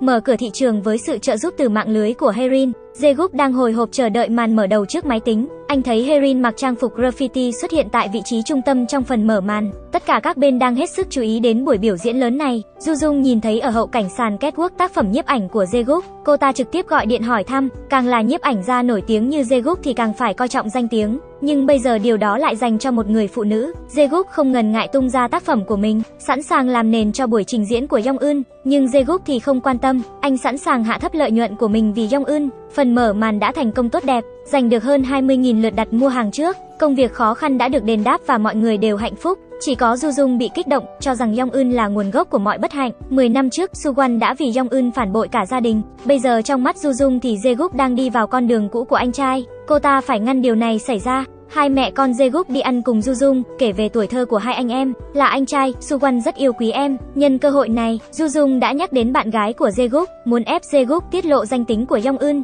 Jaegook không hài lòng với điều này, sau khi tiễn mẹ đi, anh cảnh cáo Du Dung sau này không được can thiệp vào chuyện của mình nữa. Sau đó, Du Dung dùng điện thoại của Suwan gọi cho Yong Eun. Yong Eun không trả lời, cô ta gửi thêm một tin nhắn chúc mừng. Yong Eun dự cảm cuộc gọi này có thể không chỉ là sự trùng hợp ngẫu nhiên, sự thành công của màn công bố sản phẩm mới làm cho thiết kế của đội Yong Eun đã gây được tiếng vang lớn. Điều này làm cho các nhân viên bên thương hiệu mới trở nên cay cú. Và mục đích của sự ghen tị từ Chi Súp là việc Yong Eun đang phát triển quan hệ nhanh chóng với Jae-guk. Cô ta cảnh báo Yong Eun đừng đi quá sâu. Su Won là chướng ngại vật mà hai người không thể vượt qua.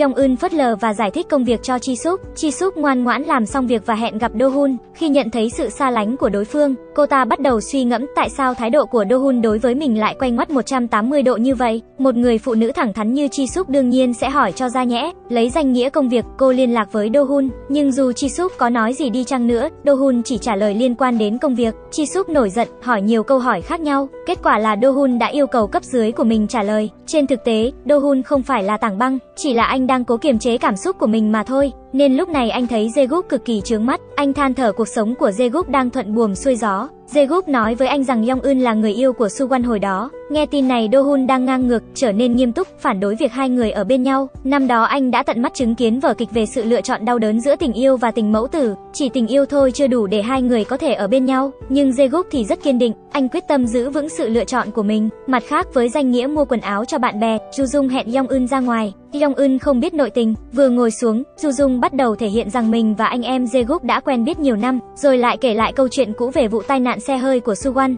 Cô ta cứ như vậy mà chọc vào tim Yong Eun, chỉ muốn Yong Eun tự nguyện từ bỏ việc ở bên Jae-guk. Gặp Ju Dung về, Yong Eun hỏi về mối quan hệ của Jae-guk với Ju Dung anh nói với cô rằng Du Dung từng là hôn thê của Su Wan. Khi Yong Eun và Su Wan yêu nhau ở Paris thì họ đã đính hôn rồi, ngày cưới cũng đã được ấn định. Biết được điều này, Yong Eun hiểu được thái độ của Du Dung. Cô trách Su Wan đã một chân dẫm hai thuyền, dù đã có vợ sắp cưới nhưng vẫn dây dưa với mình. Nói đến đây, Yong Eun vẫn lo lắng Jae-guk sẽ bận tâm, nhưng Jae-guk nói tình yêu của họ chỉ có anh và em thôi, không liên quan đến người khác. Những lời này đã an ủi Yong Eun, cô bước đến ôm lấy Jae-guk, giúp vào vòng tay anh. Lúc này, tình duyên và sự nghiệp của Yong Eun đều nở hoa. Sono dẫn đầu về doanh số, Quang Su vốn biết doanh số bán hàng của Yong Eun ra sao nên đặt áp lực lên thương hiệu mới. Đại diện Hoang cũng gây áp lực lên Chi Súc, đổ lỗi cho thương hiệu mới mà cô phụ trách tiền quảng bá thì đắt nhưng phản hồi lại bình thường. Chi Súc muốn thay đổi chủ đề, đại diện Hoang hỏi cô việc tiến triển với Jae-guk sao rồi. Ông ta còn nói không lâu nữa bố mẹ hai bên sẽ gặp nhau và bảo Chi Súc phải chuẩn bị thật tốt. Sau khi tan làm,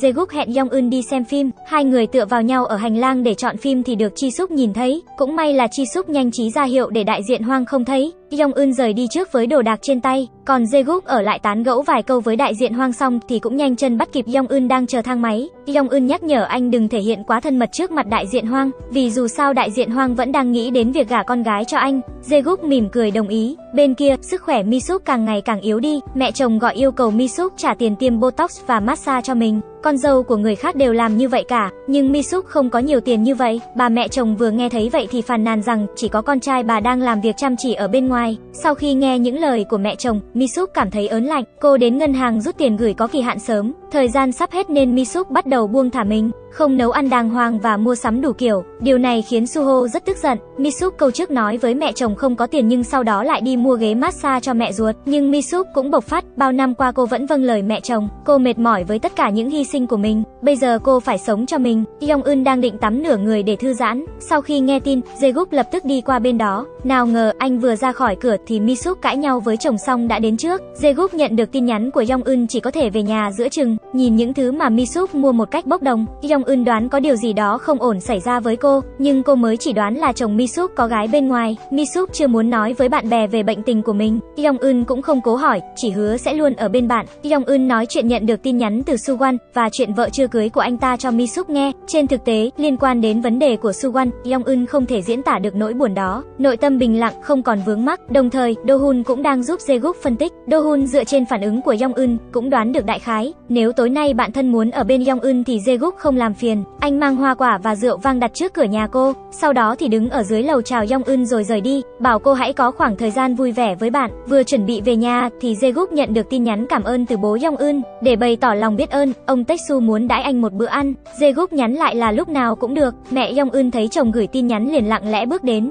Điều này đã khiến bố của Yong Eun bị giật mình. Ông Tae-su đã không nói sự thật liền nói dối chuyện này là chuyện ở trường. Nhìn thấy chồng đang lén nhắn tin, mẹ của Yong Eun trở nên nghi ngờ. Bà tìm cơ hội xem trộm điện thoại của chồng. Sau đó thì biết chồng đã hẹn với Jae-guk đi ăn. Một ngày đẹp trời khác, Yong Eun đến văn phòng thì thấy Chi Suk đang suy nghĩ. Giờ đây, mục tiêu của Chi súc đã chuyển từ Jaeguk sang Do Hun. Cô vẫn luôn khó chịu với việc lý do hôm qua Do Hun lạnh lùng với mình, nhưng Chi súc lại không nói đối phương là Do Hun. Yong Eun vừa nghe đã sợ cô sẽ bị đồn hẹn hò với một ngôi sao người mẫu khác, ảnh hưởng đến thương hiệu mới. Chi Súp nói lần này chắc chắn sẽ không có ảnh hưởng gì đến công ty. Xác nhận được xong thì Yong Eun mới yên tâm, khuyên Chi Súp đừng đoán mò mà hãy hỏi trực tiếp người đó. Nói hỏi là hỏi ngay, Chi Súp đi thẳng đến văn phòng của Do Hun. Cô đợi đến khi ở trước cửa văn phòng mới báo cho anh. Do Hun bị bất ngờ, không thể tìm được nơi nào để trốn. Chi Súp từng bước đẩy Do Hun vào tường. Do Hun đã phải thừa nhận bây giờ đang vạch ranh giới với cô, bởi vì anh không muốn ở trong mối quan hệ này chỉ có tình yêu đơn phương. Nói thẳng thế này Chi Súp đần độn cuối cùng cũng hiểu được ý của Do Hun.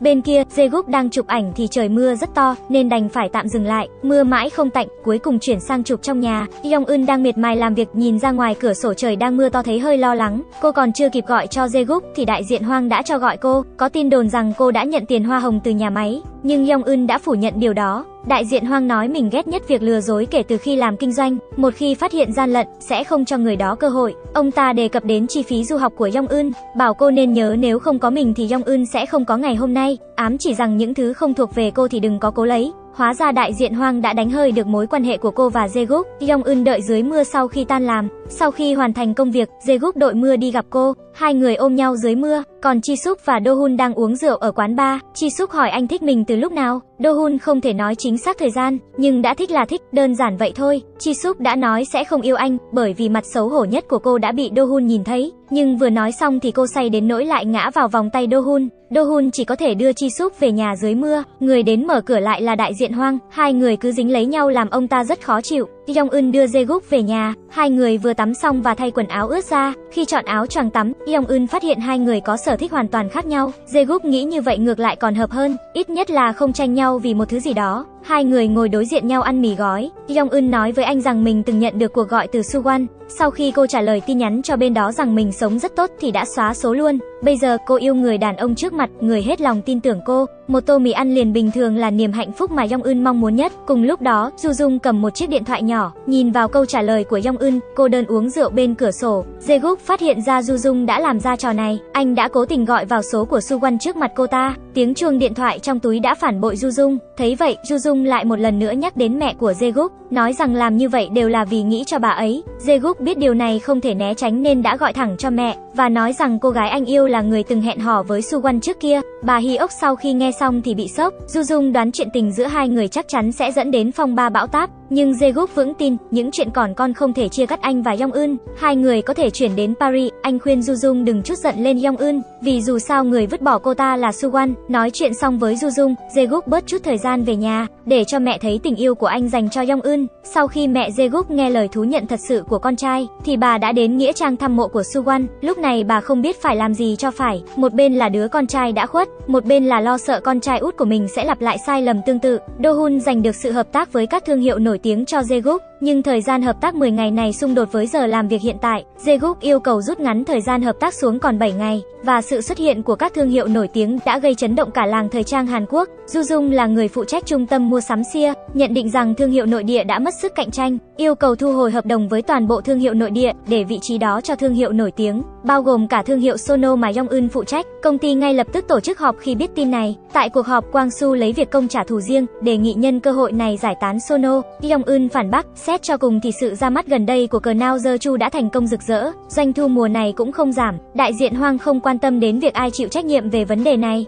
Ông yêu cầu các phòng ban khác nhau đưa ra kế hoạch giữ sự hợp tác với Du Dung. Sau cuộc họp, Yong Eun ở lại hỏi về suy nghĩ của đại diện Hoang. Đại diện Hoang cho biết sẽ tiếp tục chờ xem Sono, nếu Yong Eun muốn giữ thương hiệu mình đang nắm giữ thì phải tiếp tục giữ hợp tác với Du Dung trước cuối tháng này. Yong Eun vừa rời khỏi văn phòng, Chi Suk nhận được tin đã ngăn lại và hỏi chi tiết. Chi Suk có vẻ lo lắng, với sự sự hiểu biết của Yong Eun về Chi Súp thì một khi cô nàng lo lắng như vậy thì chắc chắn có chuyện. Chi Súp lúc này mới nhớ ra sau khi say rượu thì cô đã kể chuyện Jae-guk và Yang Eun cho bố. Sự hợp tác với các thương hiệu nổi tiếng của Jae-guk chính thức bắt đầu, nhưng Jae-guk đã mở lời chỉ hợp tác với các stylist và tạo mẫu tóc và người mẫu đẳng cấp thế giới. Không những vậy, anh còn chỉ cho đối phương 10 ngày để chuẩn bị. Tuy nhiên, với khả năng của Jae-guk, cho dù yêu cầu có như thế nào thì đối phương cũng đồng ý ký hợp đồng. Và người đại diện của đối phương thực ra là bạn cũ của Jae-guk, anh ta chính là người đã bán những bức ảnh của anh cho Yong Eun. Mặt khác, để giữ chân ở trung tâm mua sắm của Du Dung, Yong Eun lấy doanh số của Sono những năm gần đây để đàm phán với Du Dung, nhưng giá của Du Dung đưa ra quá cao, từ chối vì lý do như thiếu phong cách thương hiệu.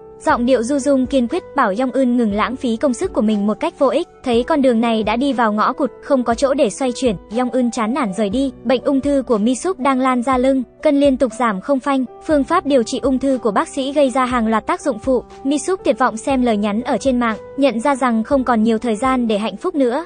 Jae-guk chuẩn bị đi Paris và anh muốn đưa người yêu đi cùng. Nhân tiện cũng có thể giới thiệu cho cô một vài tài nguyên, nhưng Yong Eun vẫn chưa giải quyết xong chuyện của Du Dung nên không thể đi cùng anh được. Cô không nói sự thật mà chọn cách âm thầm chịu đựng. Chồng của Misup cuối cùng cũng phát hiện ra có điều gì đó không ổn với vợ mình. Con gái bị tè dầm ở trường, Misup không mang quần đến thay cho con mà đi lang thang bên ngoài. Anh ta hiểu lầm vợ vì số tiền thua lỗ khi giao dịch chứng khoán nên bơ phờ. Misuk không muốn giải thích, đi vào phòng con gái quỳ gối và khóc như mưa. Chisuk muốn cứu vãn câu chuyện ngày hôm qua, đang định giải thích thì bố đã mắng cô là đồ bất tài. Có một tên đàn ông thôi mà cũng để Yong Eun cướp. Chisuk giải thích Jong Eun không cướp đàn ông của mình, hai người đó thật lòng yêu nhau. Hơn nữa, cô không còn hứng thú với Jae-guk nữa. Để chuộc lại lỗi lầm của mình, Chi Súc quyết định giúp đỡ Yong Eun. Cô yêu cầu Quang Su giải quyết vấn đề trung tâm mua sắm, trưởng phòng xử lý công việc gọn gàng, hẹn gặp phó chủ tịch trung tâm mua sắm để chơi gôn trong 4 ngày. và đưa cho Yong Eun thông tin liên lạc. Việc nắm bắt được cơ hội phụ thuộc vào khả năng của Yong Eun. Do Hun đến công ty làm việc và gặp Chi Suk. Chi Suk bước đến chỗ Do Hun một cách màu me. Nhờ Do Hun mà cô biết được chuyện của 10 năm trước và đã hiểu ra lần không muốn hợp tác này của Du Dung là lấy việc công trả thù riêng.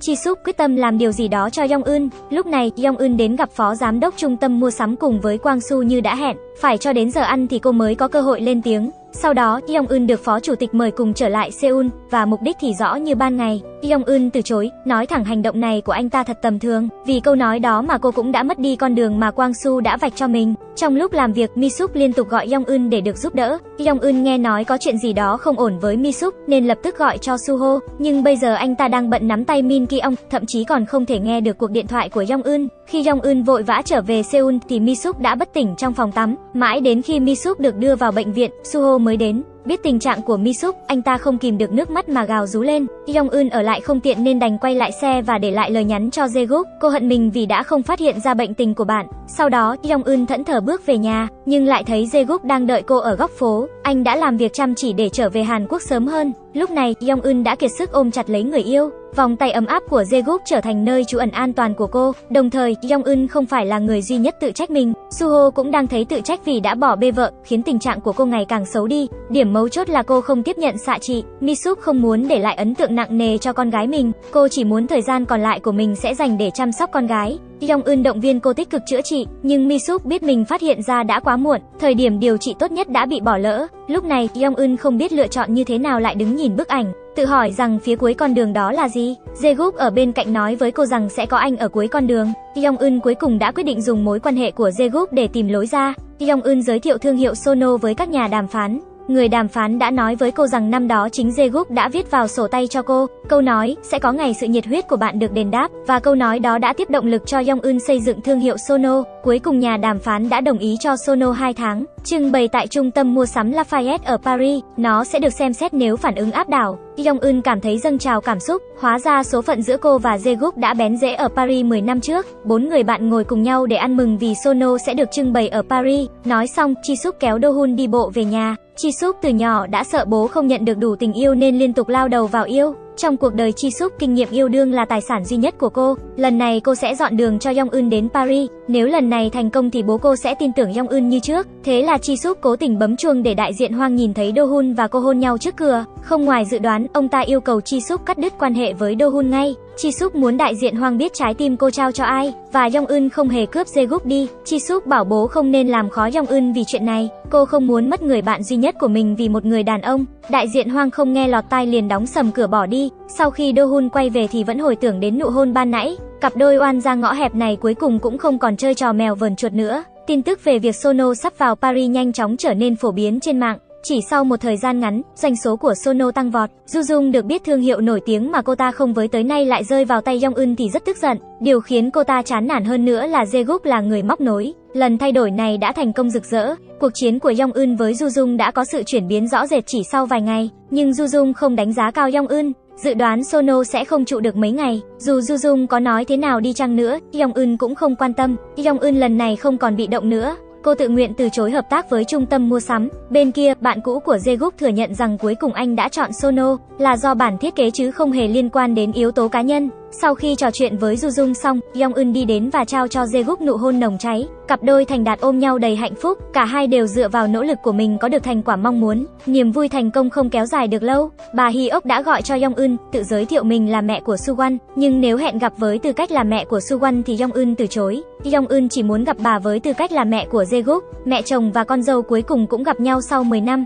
Yong Eun lấy hết can đảm để đối mặt với bà. Dù chỉ là mẹ kế, nhưng sau khi mất Suwon, bà coi Jae-guk như con ruột của mình. Bà Hyok không trực tiếp yêu cầu Yong Eun rời đi, mà bảo Yong Eun chứng minh tình yêu của mình với Jae Nếu hai người thực sự yêu nhau thì bà sẽ đồng ý với mối quan hệ này. Sau khi gặp mẹ Jaeguk về, Yong Eun đến thăm Misuk. Misuk từ chối đến bệnh viện để xạ trị, mặc dù sức khỏe của cô ngày càng tệ hơn, nhưng chờ thăng thiên trong bệnh viện không phải là điều Misuk mong muốn. Cô quyết tâm đi đến cuối cuộc đời, tạm biệt cả thế giới một cách đàng hoàng và dành thời gian còn lại một cách nghiêm túc kể từ hôm nay. Do ngày càng gầy đi nên Misuk đành phải vứt bỏ quần áo lúc trước đi. Trước khi đi, Yong Eun đã giúp cô vứt bỏ, nhưng khi đi đến thùng rác tái chế quần áo cũ cô lại không nỡ. Yong Eun không biết cách thuyết phục bạn đi xạ trị nên đã nhờ Jaeguk hỗ trợ. Anh an ủi cô rằng cố gắng làm tốt trong thời điểm hiện tại là câu trả lời tốt nhất. Yong Eun vội vã về nhà, giúp bố chọn đồ mặc trong lễ nghỉ hưu. Mẹ Yong Eun đột nhiên nói muốn ly hôn. Lần trước bà nhìn thấy chồng lén lút liên lạc với Jae-guk nên lầm tưởng chồng ngoại tình. Bà Jeong ra phàn nàn về những năm tháng làm việc nhà,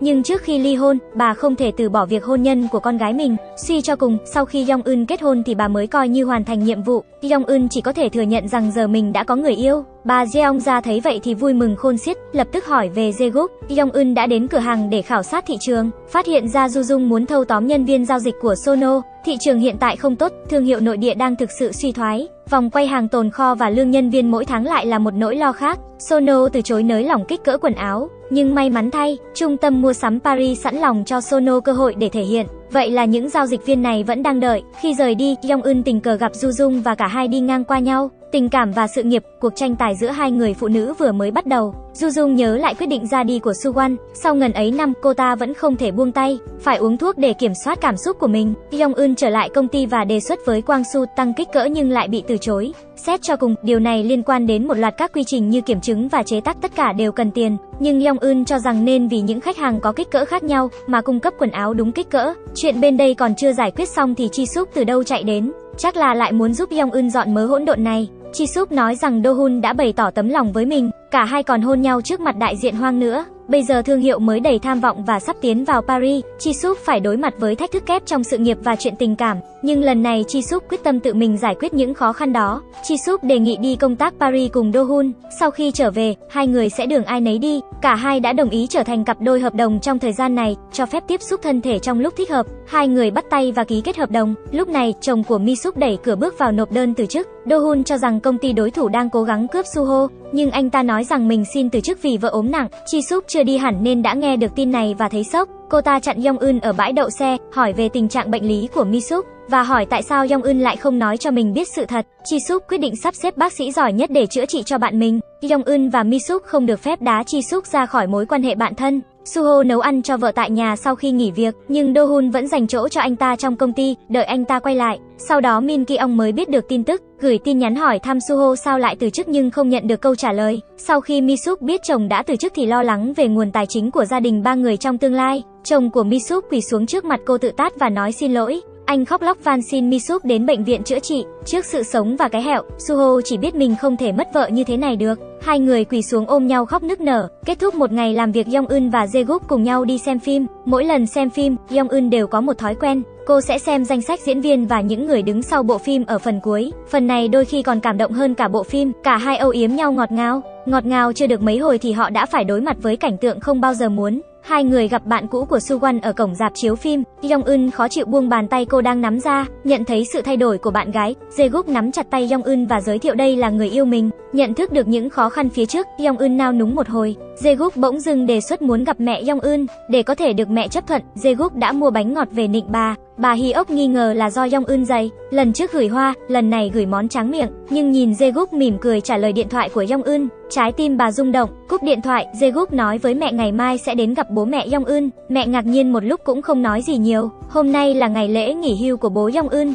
bà Jeong ra chuẩn bị bữa sáng thịnh soạn như thường lệ, nhưng khác ở chỗ bà không còn để dành miếng thịt cua ngon nhất cho chồng mà tự ăn luôn. Ông Su rất khó hiểu trước sự khác thường của vợ, nhưng bà Jeong ra vui vẻ thông báo với ông rằng mình quyết định ly hôn. Tại hội trường buổi lễ, bà Jeong ra không thèm lắng nghe phát biểu của chồng, mà quyết tâm bắt đầu cuộc sống thứ hai. Jae-guk cũng đến hội trường, bà Jeong ra đã phát hiện ra khi nhìn thấy anh, hóa ra Jae-guk là con trai của cô chủ lớp nấu ăn. Bố mẹ Yong Eun vui mừng khi biết hai người hẹn hò, anh cũng giúp gia đình họ chụp ảnh lưu niệm. Bà Jeong gia nhân cơ hội đó kéo cả anh vào chụp chung. Ở phía bên kia, mẹ của Jaeguk đã nhìn thấy quyết tâm của hai người nên có dấu hiệu buông bỏ. Nhưng Du Dung không thể bỏ qua chuyện của Su Won, khuyên bà hãy suy nghĩ kỹ. Nhưng mẹ của Jae-guk lại sợ mất thêm một đứa con trai, nên không muốn ngăn cản. Tuy nhiên, bà cũng dự đoán rằng cuối cùng hai người sẽ chia tay. Yong Eun và Jae-guk mỗi người sẽ thay nhau nói chuyện của Suwon cho bố mẹ cô. Sau khi bố mẹ của Yong Eun biết chuyện đã xảy ra với Suwon thì tỏ thái độ phản đối. Lời nói có sức sát thương rất mạnh. Bà Jeong-ja nói nếu chia tay thì Jae-guk có thể quay lại Paris, nhưng Yong Eun phải đối mặt với miệng đời thế nào đây? Jae-guk không nói nên lời, nói chuyện với bố mẹ không được thuận lợi, Jaeguk chỉ có thể ôm Yong Eun để bày tỏ tình yêu.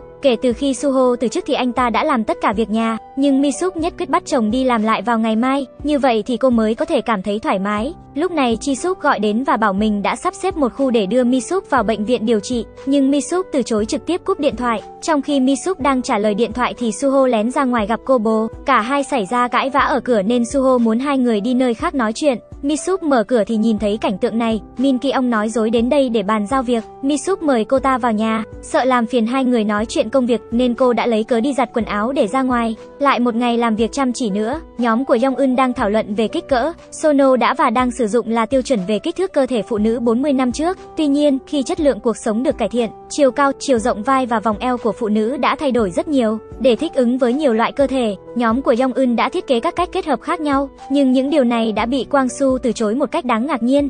Yong Eun chỉ có thể lấy Chi Suk và đại diện Hoang gia để gây áp lực cho anh ta. Cuối cùng, Quang Su đã nhượng bộ và ký tên. Ở một diễn biến khác, bức ảnh gia đình Yong Eun chụp lần trước đã truyền cảm hứng cho Jae-guk. Anh muốn thay đổi công việc chuyển sang chụp con người. Bà Hyok nghe về tầm nhìn của con trai về tương lai, hỏi anh xem anh có từng nghĩ đến việc kết hôn không. Đề nghị để Jae-guk đưa Yong Eun về nhà dùng bữa, và Yong Eun đã quyết định thay đổi lại số quần áo của Misuk mà cô mang về. Nhưng với một người thì khối lượng công việc này là quá nhiều nên cô đã gọi Chi Suk đến giúp. Những bộ quần áo này chứa đầy ký ức của Misuk. Thật đáng tiếc khi để chúng bị vứt đi. Misuk rất vui vẻ khi mặc bộ quần áo do bạn thay đổi. Cô nói với hai bạn rằng mình đã quyết định đi điều trị. Ba cô bạn gái vui vẻ chơi đùa trước gương. Chi súp nói chuyện về mi súp với Do Hun. Do Hun an ủi cô rằng ly biệt không nhất định sẽ đau thương. Để mi súp ra đi nhẹ nhàng cũng là một cách thể hiện tình yêu. Chi Súc dựa vào vai Do Hun thì bị bố vừa về đến cổng nhìn thấy. Trước hoàn cảnh này, ông ta cũng chỉ biết thở dài. Ngày hôm sau, Do Hun cầm hoa đến công ty tìm Chi Súc. Kết quả thì người anh gặp lại là đại diện Hoang. Nhìn ngoại hình và lý lịch của con rể tương lai, với sự thấu hiểu con gái mình thì ông ta cho rằng Chi Súc luôn chỉ thích những anh chàng đẹp trai,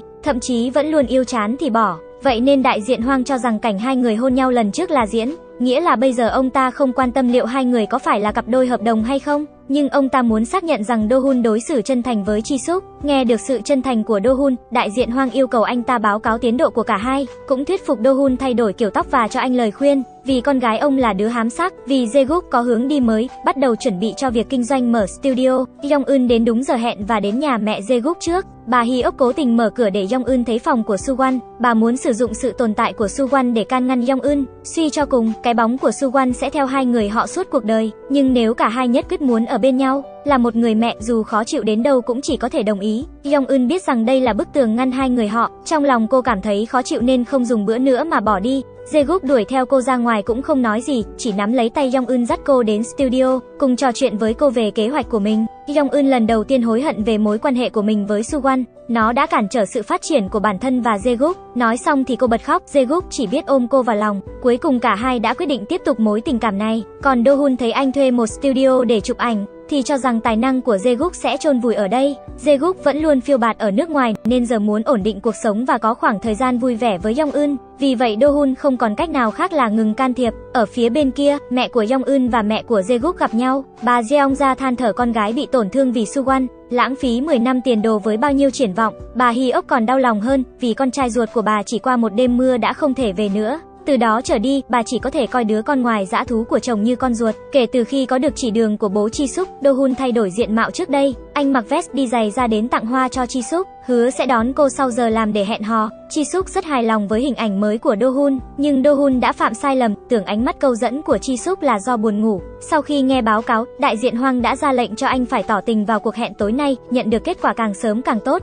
Cùng lúc đó, Yong Eun cũng khuyên Chi Suk hãy nghiêm túc với tình yêu này, nhưng Chi Suk lại vô tình quyết định chia tay Do Hun sau 2 tháng. Chi Suk trước đây luôn là tình yêu đơn phương nên sợ bị bỏ rơi. Trong một mối quan hệ thì điều đau lòng nhất không phải là theo đuổi tình yêu, mà là người mình yêu quay lưng đi. Studio của Jae-guk chính thức khai trương nhưng kinh doanh ảm đạm, vì trong thế giới điện thoại thông minh ngày nay, sẽ không có quá nhiều người chọn đến studio chụp ảnh, nhưng Jae-guk nghĩ những bức ảnh không chỉ đơn giản là ảnh thôi, mà còn là để lưu giữ những kỷ niệm của khoảnh khắc này. Chỉ cần nhìn thấy bức ảnh thì sẽ thấy được niềm vui trong ngày. Yong Eun cứ rảnh là lại đến thăm cô bạn Misuk. Misuk giờ không còn làm mọi thứ cho con gái mình nữa. Cô muốn dạy con gái cách tự chăm sóc bản thân, nhưng đứa trẻ vẫn còn nhỏ, nên khi không thể mang tất cô bé đã khóc lớn. Misuk bảo con gái rằng nếu không đeo được tất thì sẽ cấm xem hoạt hình 10 ngày. Yong Eun không đồng tình với cách dạy con của Misuk, không thể để con gái nhớ lại những kỷ niệm cuối cùng về mẹ là một người phụ nữ cáu kỉnh được. Nhưng Misu cảm giác được tử thần đang đến gần, vì thế cô không thể không lo giải quyết những chuyện về sau. Min Ki ông tìm Suho và yêu cầu anh quay lại làm việc, vì sau khi anh đi thì việc ở trung tâm mua sắm ở Paris được giao hết cho cô ta. Nếu làm không tốt có thể bị sa thải. Suho không nói nên lời khi nghe lý do này. Đêm đó, Dohun gặp Chi Suk như đã thỏa thuận, anh đưa Chi Suk lên núi ngắm cảnh đêm, biết Chi Suk đi giày cao gót không tiện leo bậc thang nên Dohun đã chuẩn bị đôi sneaker phiên bản giới hạn cho cô. Nhìn người đàn ông cúi xuống buộc dây giày cho mình, Chi Suk có chút cảm động, mãi mới lên đến đài quan sát, Chi Suk đổ mồ hôi đầm đìa, còn Dohun nhất quyết đòi đi lên tiếp, là vì anh muốn tay trong tay với Chi Suk như thế này mà thôi. Sau đó Do-hun lấy chiếc khóa có khắc tên của hai người ra, khóa chặt lại, rồi đưa chìa khóa cho Chi Suk. Trong tình yêu này anh sẵn sàng là người cho đi, nếu Chi Súp thay đổi ý định thì hãy quay lại và tháo khóa ra. Chi Súp cầm chìa khóa mà cảm thấy như rơi vào lưới tình. Mặt khác Yong Eun về nhà thì thấy mẹ đang ngồi xổm ở cửa đợi cô.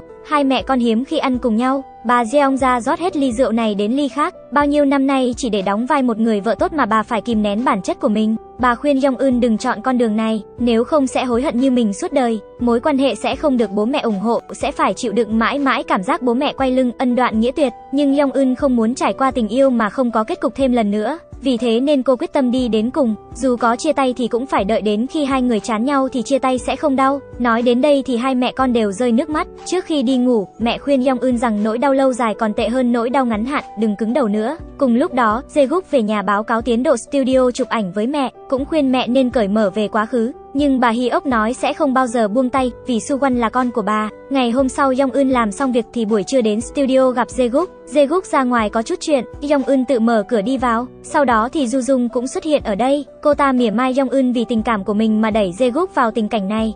Yong Eun đứng lên và nói rõ rằng bây giờ mình đang hẹn hò với Jae-guk, với tư cách là hôn thê cũ của Su Won, Du không có quyền. Jae-guk vừa bước vào cửa đã thấy Du Dung đang cố nói động chạm Yong Eun, để Du Dung không tiếp tục như vậy nữa, Jae-guk đã kể cho cô ta nghe sự thật về đêm mưa năm đó. Suwon đã kiệt sức nên không muốn đấu tranh nữa. Đêm đó anh lái xe đi gặp Yong Eun là để nói chia tay, có nghĩa là nếu không xảy ra tai nạn thì Suwon và Ju Jung sẽ kết hôn như đã định. Nghe thấy vậy, Ju Jung không nhịn được nữa khóc lóc thảm thiết. Jae quay lại an ủi Yong Eun. Studio cũng không có việc nên Yong Eun muốn Jae chụp ảnh cho Mi Suk, giúp cô ấy lưu giữ những bức ảnh đẹp nhất trước khi xạ trị. Chi Suk còn đặc biệt mời một nghệ sĩ trang điểm chuyên nghiệp đến. Vốn dĩ là lúc chụp ảnh Mi Suk không được thoải mái, nhưng nhờ những người bạn ở bên đã giúp cô phấn chấn hơn. Cuối cùng thì bộ ảnh chụp ra cũng rất vừa ý. Ba cô bạn cùng nhau chụp ảnh nhóm, lưu giữ những kỷ niệm đẹp nhất trong máy ảnh. Misuk chụp ảnh xong và quay về nhà thì con gái đã ngủ. Cô bé ngoan ngoãn nghe lời mẹ nhất định không chịu cởi tất ra, muốn cho mẹ xem. Misuk cảm thấy có lỗi với con mình khi phải đối mặt với tất cả những điều này một cách độc lập ở độ tuổi trẻ như vậy. Cô nắm bàn tay nhỏ bé của con gái và khóc. Suho nhìn vợ và con gái giúp vào nhau, tất cả những cảm xúc của anh trực trao.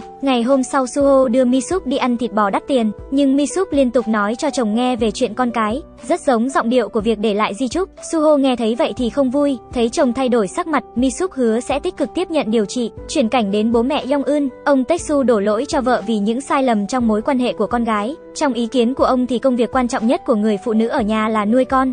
Yong Eun lâm vào cảnh như bây giờ đều do cách dạy của bà Jeong ra, còn bản thân ông đã làm việc chăm chỉ, làm tròn trách nhiệm của người chủ gia đình. Mẹ Yong Eun tức giận đập bàn mắng, để chồng mình có thể có được vị trí như ngày hôm nay thì bà đã phải âm thầm trả giá rất nhiều ở hậu phương, nếu không tặng kim chi cho lãnh đạo trường học, bận tới bận lui thì sao chồng có thể được thăng chức. Thế mà những điều này ông Tae Su lại coi nhẹ, bà Jeong ra tức lộn ruột gan, bắt taxi đến studio của Jaeguk, mà mắng anh là đứa con ngoài dã thú, hoàn toàn không xứng đáng làm con rể của mình. Mỗi câu nói như một nhát dao đâm vào tim của Zeguk, bà Jeong Ja không muốn tất cả khó khăn này xảy ra với con gái mình, vì vậy chỉ có thể nói những lời này để buộc Jaeguk rời đi. Yong Eun đang ở thế tiến thoái lưỡng nan, chỉ có thể về nhà với mẹ trước, và bà Jeong Ja cuối cùng cũng đợi đến ngày chồng nghỉ hưu để ký vào giấy ly hôn. Lúc trước bà lo việc ly hôn sẽ ảnh hưởng đến tương lai của chồng, nhưng giờ bà phải đi tìm lại tuổi xuân lần thứ hai của đời mình. Mối quan hệ của Yong Eun và Jae-guk không suôn sẻ, còn Chi Suk đã quyết định gọi Do Hun đến tháp Nam San để xác định lần cuối. Chi Suk chủ động đến gần và hôn Do Hun, tim Do Hun đập loạn xạ, là cảm giác rung động bồi hồi. Cuối cùng Chi Súp cũng bị thuyết phục bởi người đàn ông trước mặt, vứt chìa khóa một cách nhẹ nhàng rồi tuyên bố bắt đầu hẹn hò với anh. Vì lần trước mẹ Yong Eun đến gây rắc rối, cả hai đều đang chờ đối phương chủ động liên lạc với mình. Yong Eun lặng lẽ theo dõi Jae làm việc từ bên ngoài studio. Yong Eun đợi khách rời đi mới bước vào. Jae-guk chào đón cô, như thể không có chuyện gì xảy ra vào ngày hôm qua, nhưng Yong Eun đã chủ động nêu ra vấn đề. Cô không thích Jae-guk dồn hết những cảm xúc tiêu cực vào bản thân rồi tự gặm nhấm nó, như tượng đất sét nóng này bị người khác trà sát vậy. Thực tế từ khi còn nhỏ cho đến khi trưởng thành thì Jae-guk đã quen nghe những lời nói xấu này, nên anh đã sớm hình thành cho mình bức tường thành vững chãi. Nhưng nhìn Yong Eun đang mất bình tĩnh trước mặt anh, anh biết mình đã tìm thấy tình yêu đích thực. Yong Eun cảm thấy bất bình, ấm ức thay anh. Với người luôn quan tâm đến anh là Yong-un thì ngàn lời dê gúc hóa thành một câu, cho đến giây phút cuối cùng của cuộc đời thì anh vẫn sẽ yêu Yong Eun. Yong Eun vừa khóc vừa trả lời Jae-guk rằng cô cũng sẽ mãi yêu anh, nhưng bà Hyok đã uy hiếp cô rằng nếu hai người cố chấp đến với nhau thì bà sẽ tự sát, để Jae-guk chịu đựng nỗi đau sát hại mẹ suốt đời. Đối mặt với mối đe dọa của mẹ Jae-guk, Yong Eun nên lựa chọn như thế nào đây? Sau đó hai người về nhà và cùng nhau xem phim. Kết thúc phim, Yong Eun đột nhiên hỏi nếu thời gian của hai người không còn nhiều, thì Jae-guk còn có những mong ước chưa thực hiện nào không? Vấn đề đột ngột này làm anh không biết trả lời thế nào. Yong Eun bày tỏ mong muốn có một tình yêu nồng nàn đến cùng, ví dụ như trao nhau nụ hôn ở ngã tư đường, hay là tranh nhau điều khiển TV khi xem phim ở nhà, cùng nhau đi biển, đến trung tâm mua sắm. Họ tưởng tượng ra một loạt những việc làm thường ngày của các đôi yêu nhau. Tuy nhiên đây không phải là đáp án mà Yong Eun muốn. Điều cô hỏi là liệu cái kết của hai người có phải là chia tay không? Kể từ khi mẹ của Jae-guk nói rằng sẽ tự vẫn nếu hai người lấy nhau, Yong Eun không dám yêu cầu hai người ở bên nhau mãi mãi nữa. Cô chỉ muốn thời gian họ bên nhau thì đừng mệt mỏi vì tranh cãi, để rồi dù cuối cùng có phải chia tay thì cũng sẽ không tiếc nuối. Lại là một ngày đẹp trời khác, công ty bất ngờ triệu tập hội đồng vào cuộc điều tra, có thể sẽ có một cuộc điều tra trước khi mua lại. Mọi người trong công ty đều có nguy cơ bị nghỉ việc. Yong Eun chỉ có thể gửi tài liệu theo yêu cầu, không biết chuyện gì đang xảy ra. Chi Súp trực tiếp hỏi đại diện Hoang, nhưng ông ta không muốn nói gì với con gái. Chi Hyung vạch mặt không thương tiếc, hai chị em cãi nhau về việc phân chia tài sản. Yong Eun đến báo cáo tiến độ hợp tác với trung tâm mua sắm ở Pháp, tiện thể xác nhận lại tính thực hư về tin đồn. Đại diện Hoang không thừa nhận nhưng cũng không phủ nhận, ông ta sẽ không buông tay cho đến khi sự việc lắng xuống. Jaeguk biết được chuyện này từ dohun sau khi công ty được mua lại, vẫn chưa rõ Yong-un có thể ở lại công ty hay không. Yong-un không quan tâm đến việc có ở lại hay không. Lúc này, việc hợp tác với công ty nước ngoài đang đi vào bế tắc, đối phương không hài lòng gu thời trang và thiết kế của công ty Yong-un. Việc kích cỡ phù hợp với người châu Mỹ và cả châu Á cũng có nhiều ý kiến khác nhau. Điều này cũng làm nhân viên cảm thấy hoang mang, chán nản. Họ đang quan tâm đến việc đi hay ở nên không tập trung vào công việc chút nào. Yong Eun cổ vũ mọi người rằng việc mua lại chỉ là tin đồn chưa được xác nhận, cho dù có thế nào thì đành phải vì dự án hợp tác hiện tại, suy nghĩ quá nhiều chỉ thêm rắc rối. Sau những câu nói này thì mọi người mới vực lại và bắt đầu làm việc. Chuyển cảnh đến bố mẹ Yong Eun, bà Jeong ra quyết tâm ly hôn, liên hệ với đại lý bất động sản để bán nhà. Lúc này ông Tae Su mới nhận ra vợ mình nghiêm túc nên lập tức nổi giận. Ông trách vợ dựa vào cái gì mà tự ý bán nhà. Bà Jeong ra nói thẳng rằng ông không coi trọng gia đình nên không đủ tư cách để ngụy biện. Bà không có ý định gây chiến với kẻ thứ ba, mà để chồng có khoảng thời gian vui vẻ với tình nhân của mình. Lúc này ông Texu mới nhớ ra Zegup là nhân chứng của vụ tống tiền, nên ông lưu tên anh trong danh bạ có hơi nhạy cảm. Thế là ông nhanh chóng giải thích với vợ, nhưng lần này bà Jeong ra trực tiếp rời khỏi nhà. Yong Eun nói về việc mua bán và sáp nhập với Zegup vào giờ ăn trưa. Zegup nói rằng việc mua bán và sáp nhập không hẳn là chuyện xấu, có thể công ty sẽ tận dụng điều này để mở rộng quy mô. Yong Eun không lo lắng về điều đó, vì luôn có những thăng trầm trong cuộc sống, không có gì tồn tại mãi mãi. Jae-guk nhân cơ hội để thuyết phục cô rằng suy nghĩ của bố mẹ Yong Eun có thể thay đổi được, hai người có thể đợi thêm chút nữa. Yong Eun không muốn nghe nên chuyển sang khen áo của Jae-guk đẹp. Vừa nhắc đến bố mẹ hai bên thì mẹ Yong Eun và mẹ Jae-guk tình cờ gặp nhau trong nhà vệ sinh. Hai người nói ý nói tứ, bà Hi ốc nói hai gia đình không môn đăng hậu đối. Bà Jeong ra tức điên người, trực tiếp gọi điện cho con gái để bày tỏ lập trường, không đời nào để hai người ở bên nhau. Những lời này đều được Jae-guk ngồi đối diện nghe thấy. Yong Eun không muốn nói thêm nữa, nhưng Jae-guk đã trả lời điện thoại im lặng nghe mẹ Yong Eun mắng mỏ. Hai mẹ hai bên rất tức giận, có vẻ như phải rất lâu nữa họ mới thay đổi được suy nghĩ của mình. Mẹ Jae-guk tức đến nỗi suýt ngất xỉu bên ngoài nhà vệ sinh. May mắn thay, Ju Jung đi ngang qua và quan tâm giúp bà tỉnh táo hơn. Hai bên được mẹ triệu tập, nhưng không ngờ phải nghe mắng. jae và Yong Eun chỉ có thể im lặng chịu đựng. Yong Eun không chỉ phải lo chuyện của mình, mà còn phải lo lắng về việc bố mẹ ly hôn. Cả gia đình ba người ngồi xuống, cuối cùng đã giải thích rõ ràng chuyện gì đã xảy ra, nhưng họ lại quay sang tranh cãi về vấn đề tiền nong. Bà Jeong ra nghĩ chồng thật vô dụng, ông Taesu lại cho rằng ông âm thầm gánh chịu áp lực cuộc sống. Hai người họ không ai chịu nhường ai, để xoa dịu nỗi đau của mẹ, Yong Eun ngồi uống rượu tâm sự cùng bà. Thực ra, bố mẹ cũng có những khó khăn riêng của họ, cả hai đều thỏa hiệp cho cuộc sống của mình. Bà Hyok xin Jae-guk chia tay với Yong Eun, Jae-guk im lặng không nói gì, còn Yong Eun nhìn mẹ mình say rượu, ý nghĩ chia tay một lần nữa lại lởn vởn trong lòng. Mặt khác, phản ứng xạ trị của Mi Suk khiến cô nôn mửa không ngừng. Suho đã chuẩn bị một bữa ăn ngon nhưng cô không thể nuốt được miếng nào. Cô bàn bạc với chồng cách tổ chức tang lễ cho mình. Cô mong nó không quá dập khuôn, tốt nhất là vui vẻ tổ chức như một bữa tiệc, để cô cũng có thể mỉm cười chào tạm biệt mọi người. Suho không muốn nghe điều này, nhưng anh sẵn sàng tôn trọng ý kiến của vợ. Hai người ôm nhau khóc. Đại diện Hoang đã đến và đợi trong văn phòng của Do Dohun Do ngạc nhiên khi mở cửa ra, nhưng đại diện Hoang chỉ đến hỏi thăm về tiến triển của mối quan hệ giữa hai người. Dohun trả lời là đang đi theo quỹ đạo. Họ vừa ăn trưa với nhau xong và Dohun đã tặng Chi Súc một tập thơ, nhưng Chi Súp lại mỉm cười có chút miễn cưỡng khi nhận được món quà, nhưng Do Hun rõ ràng không nhận ra. Đại diện Hoang cũng thấy lạ khi Do Hun cứ làm chuyện chẳng đâu vào đâu, và điều tệ hơn là anh không hề hay biết gì. Đại diện Hoang lập tức cảm thấy cạn lời với người con rể này. Chi Súp giận dữ gọi điện để phàn nàn với Yong Eun, nhưng Yong Eun quá bận nên không để ý đến cô. Ngay sau đó, Chi Súp thấy Min Ki Ong đang quấy giày chồng của Mi Súc. Suho rõ ràng thẳng thừng từ chối cô ta. Bây giờ anh làm việc nhà vì biết điều đó không dễ dàng với vợ, không muốn phản bội lần nữa. Min Ki Ong không chịu bỏ cuộc, cầu xin anh quay trở lại làm việc. Chi Súp ở cách họ một khoảng, không nghe rõ nội dung cụ thể của cuộc trò chuyện, nhưng hai người cứ lôi lôi kéo kéo đã làm lộ chuyện ngoại tình. Chi Súp lập tức báo cho Yong Eun, quá tức giận, cô ước mình có thể nói với Mi Súp ngay và luôn, nhưng thấy cơ thể của Mi Súp đang trải qua quá trình xạ trị, Yong Eun cảm thấy rằng nên che giấu việc này, nhưng cô không ngăn được Chi Súp, chỉ biết đứng nhìn bạn chạy lên lầu. Khi Chi Súp nhìn thấy Mi Súp ôm con gái thì cô không còn lá gan đó nữa. Sau một hồi trầm ngâm thì cô vẫn không thể mở miệng. Misup nói mình có thể mặc lại bộ quần áo từng mặc khi còn là người mẫu. Cô cảm thấy mình nên nắm bắt thời gian để yêu thương những người xung quanh, không nên keo kiệt trong việc thể hiện tình yêu. Du Dung hẹn Jae đi uống cà phê, cô ta không hiểu tại sao Jae lại bướng bỉnh như vậy, nhất quyết chọn đi cùng Yong Eun đến cuối cùng. Jae nói đây là cuộc sống của anh, không cần người khác chọn thay mình. Jae nhắc lại chuyện cũ 10 năm trước, Suwan đã uống rượu vào ngày xảy ra tai nạn xe hơi. Jae nghe chuyện từ nhân viên quán bar rằng Suwan đã uống rượu với một người phụ nữ. Su Wan rời đi sau khi uống được một nửa, người phụ nữ sau đó đã lái xe đuổi theo anh ta, và người đó không ai khác chính là Du Dung. Lúc đó, cô nhận ra Su Wan đang lái xe trong tình trạng say rượu nên muốn ngăn lại, nhưng cuối cùng lại chậm một bước, nhìn người yêu gặp tai nạn phía trước. Chi Súc mang theo rượu vang đi tìm Do Hun, để ngăn việc Jae làm hỏng đại sự của hai người. Chi Súc đã gọi cho Yong Eun bảo hai người đi chơi đi, đáng tiếc Do Hun không hiểu ý tứ người yêu, liên tục nói rằng uống rượu không tốt cho sức khỏe. Chi Súc cuối cùng không thể chịu đựng được nữa, đây không phải là tình yêu của người lớn mà cô biết. Nhìn Chi Súc đang tức giận, Do Hun giải thích với cô rằng mọi chuyện anh làm đều xuất phát từ tình cảm chân thành. Còn Jae thì có nhà nhưng không thể về, đành phải ở trong xe hẹn hò với Yong Eun. Yong Eun bận rộn với công việc anh lặng lẽ ở bên, nhưng cuộc điện thoại từ mẹ của Jae đã phá vỡ sự bình yên. Jae sợ mẹ anh sẽ nói điều gì đó khiến Yong Eun khó chịu nên ra ngoài nghe điện thoại. Hai người ở trước mặt nhau đều phải né tránh mẹ mình.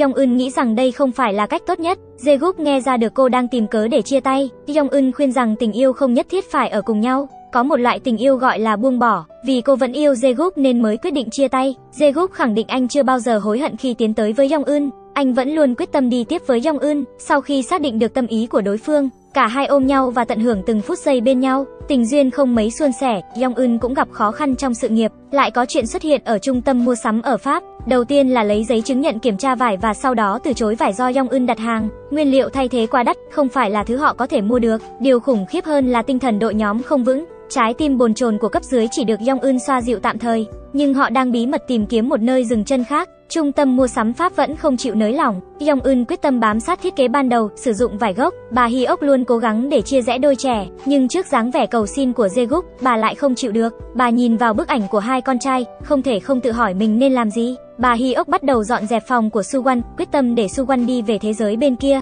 Cuối cùng bà cũng đã buông bỏ, đồng ý cho hai đứa hẹn hò, nhưng điều kiện là tất cả những điều này phải đợi đến sau khi bà mồ yên mà đẹp. Bà hy vọng rằng trong thời gian có hạn này sẽ trân trọng mối quan hệ với con trai. Bà Hy ốc khuyên Jae về nhà sống. Lúc này Jae mới biết lý do mà Yong Eun liên tục nói chia tay là vì mẹ mình lấy cái hẹo ra đe dọa cô. Hai mẹ con nói chuyện một hồi thì Jae nổi giận, trách mẹ sao có thể nói những lời tổn thương như vậy với Yong Eun. Nói xong thì đùng đùng bỏ đi, anh chạy đến công ty rồi ôm chầm Yong Eun vào lòng và nói xin lỗi.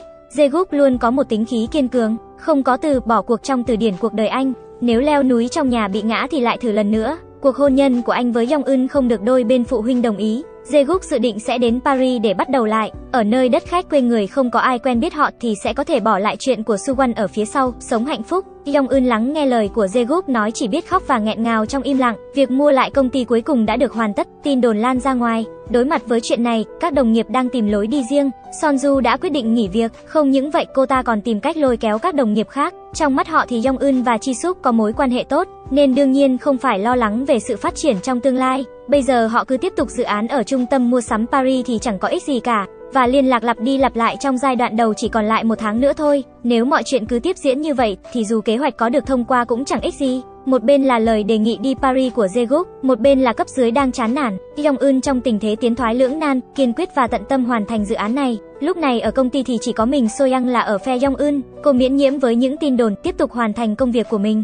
Chi Hyung nghe được lời nói của cô thì mỉm cười. So Young đã thay đổi cách nhìn. Chi Hyung, người luôn nói chuyện trống không lần đầu tiên gọi cô là tiền bối So Young. Jae thì đang chuẩn bị cho việc đi Pháp. Anh nhờ bạn tìm giúp mình một căn hộ ở Paris. Mọi thứ đã sẵn sàng, chỉ cần Yong Eun gật đầu là họ sẽ cao chạy xa bay cùng nhau. Yong Eun nhận được cuộc gọi từ bố. Bây giờ bố mẹ cô đã đi đến bước ra tòa giải quyết chuyện ly hôn. Mẹ của Yong Eun muốn đấu tranh để có tiền an ủi tinh thần, nhưng theo luật thì bà chỉ nhận được tiền đó nếu trong cuộc hôn nhân chồng bà làm gì sai trái. Dù ông Tetsu không lừa dối, nhưng bà Jeong ra lại nghĩ một số điều vụn vặt trong cuộc sống đã gây ra tổn hại đáng kể cho mình. Ví dụ như bà không ăn được đồ ăn cứng nhưng để chiều chồng nên đành ăn cơm chan canh. Ông Texu cũng không bao giờ giới thiệu tên bà trong các bữa tiệc, mà chỉ nói đây là vợ của tôi. Bà vẫn luôn sống như một người vợ, người mẹ, vì gia đình mà phải từ bỏ sở thích cũng như việc ra ngoài giao du.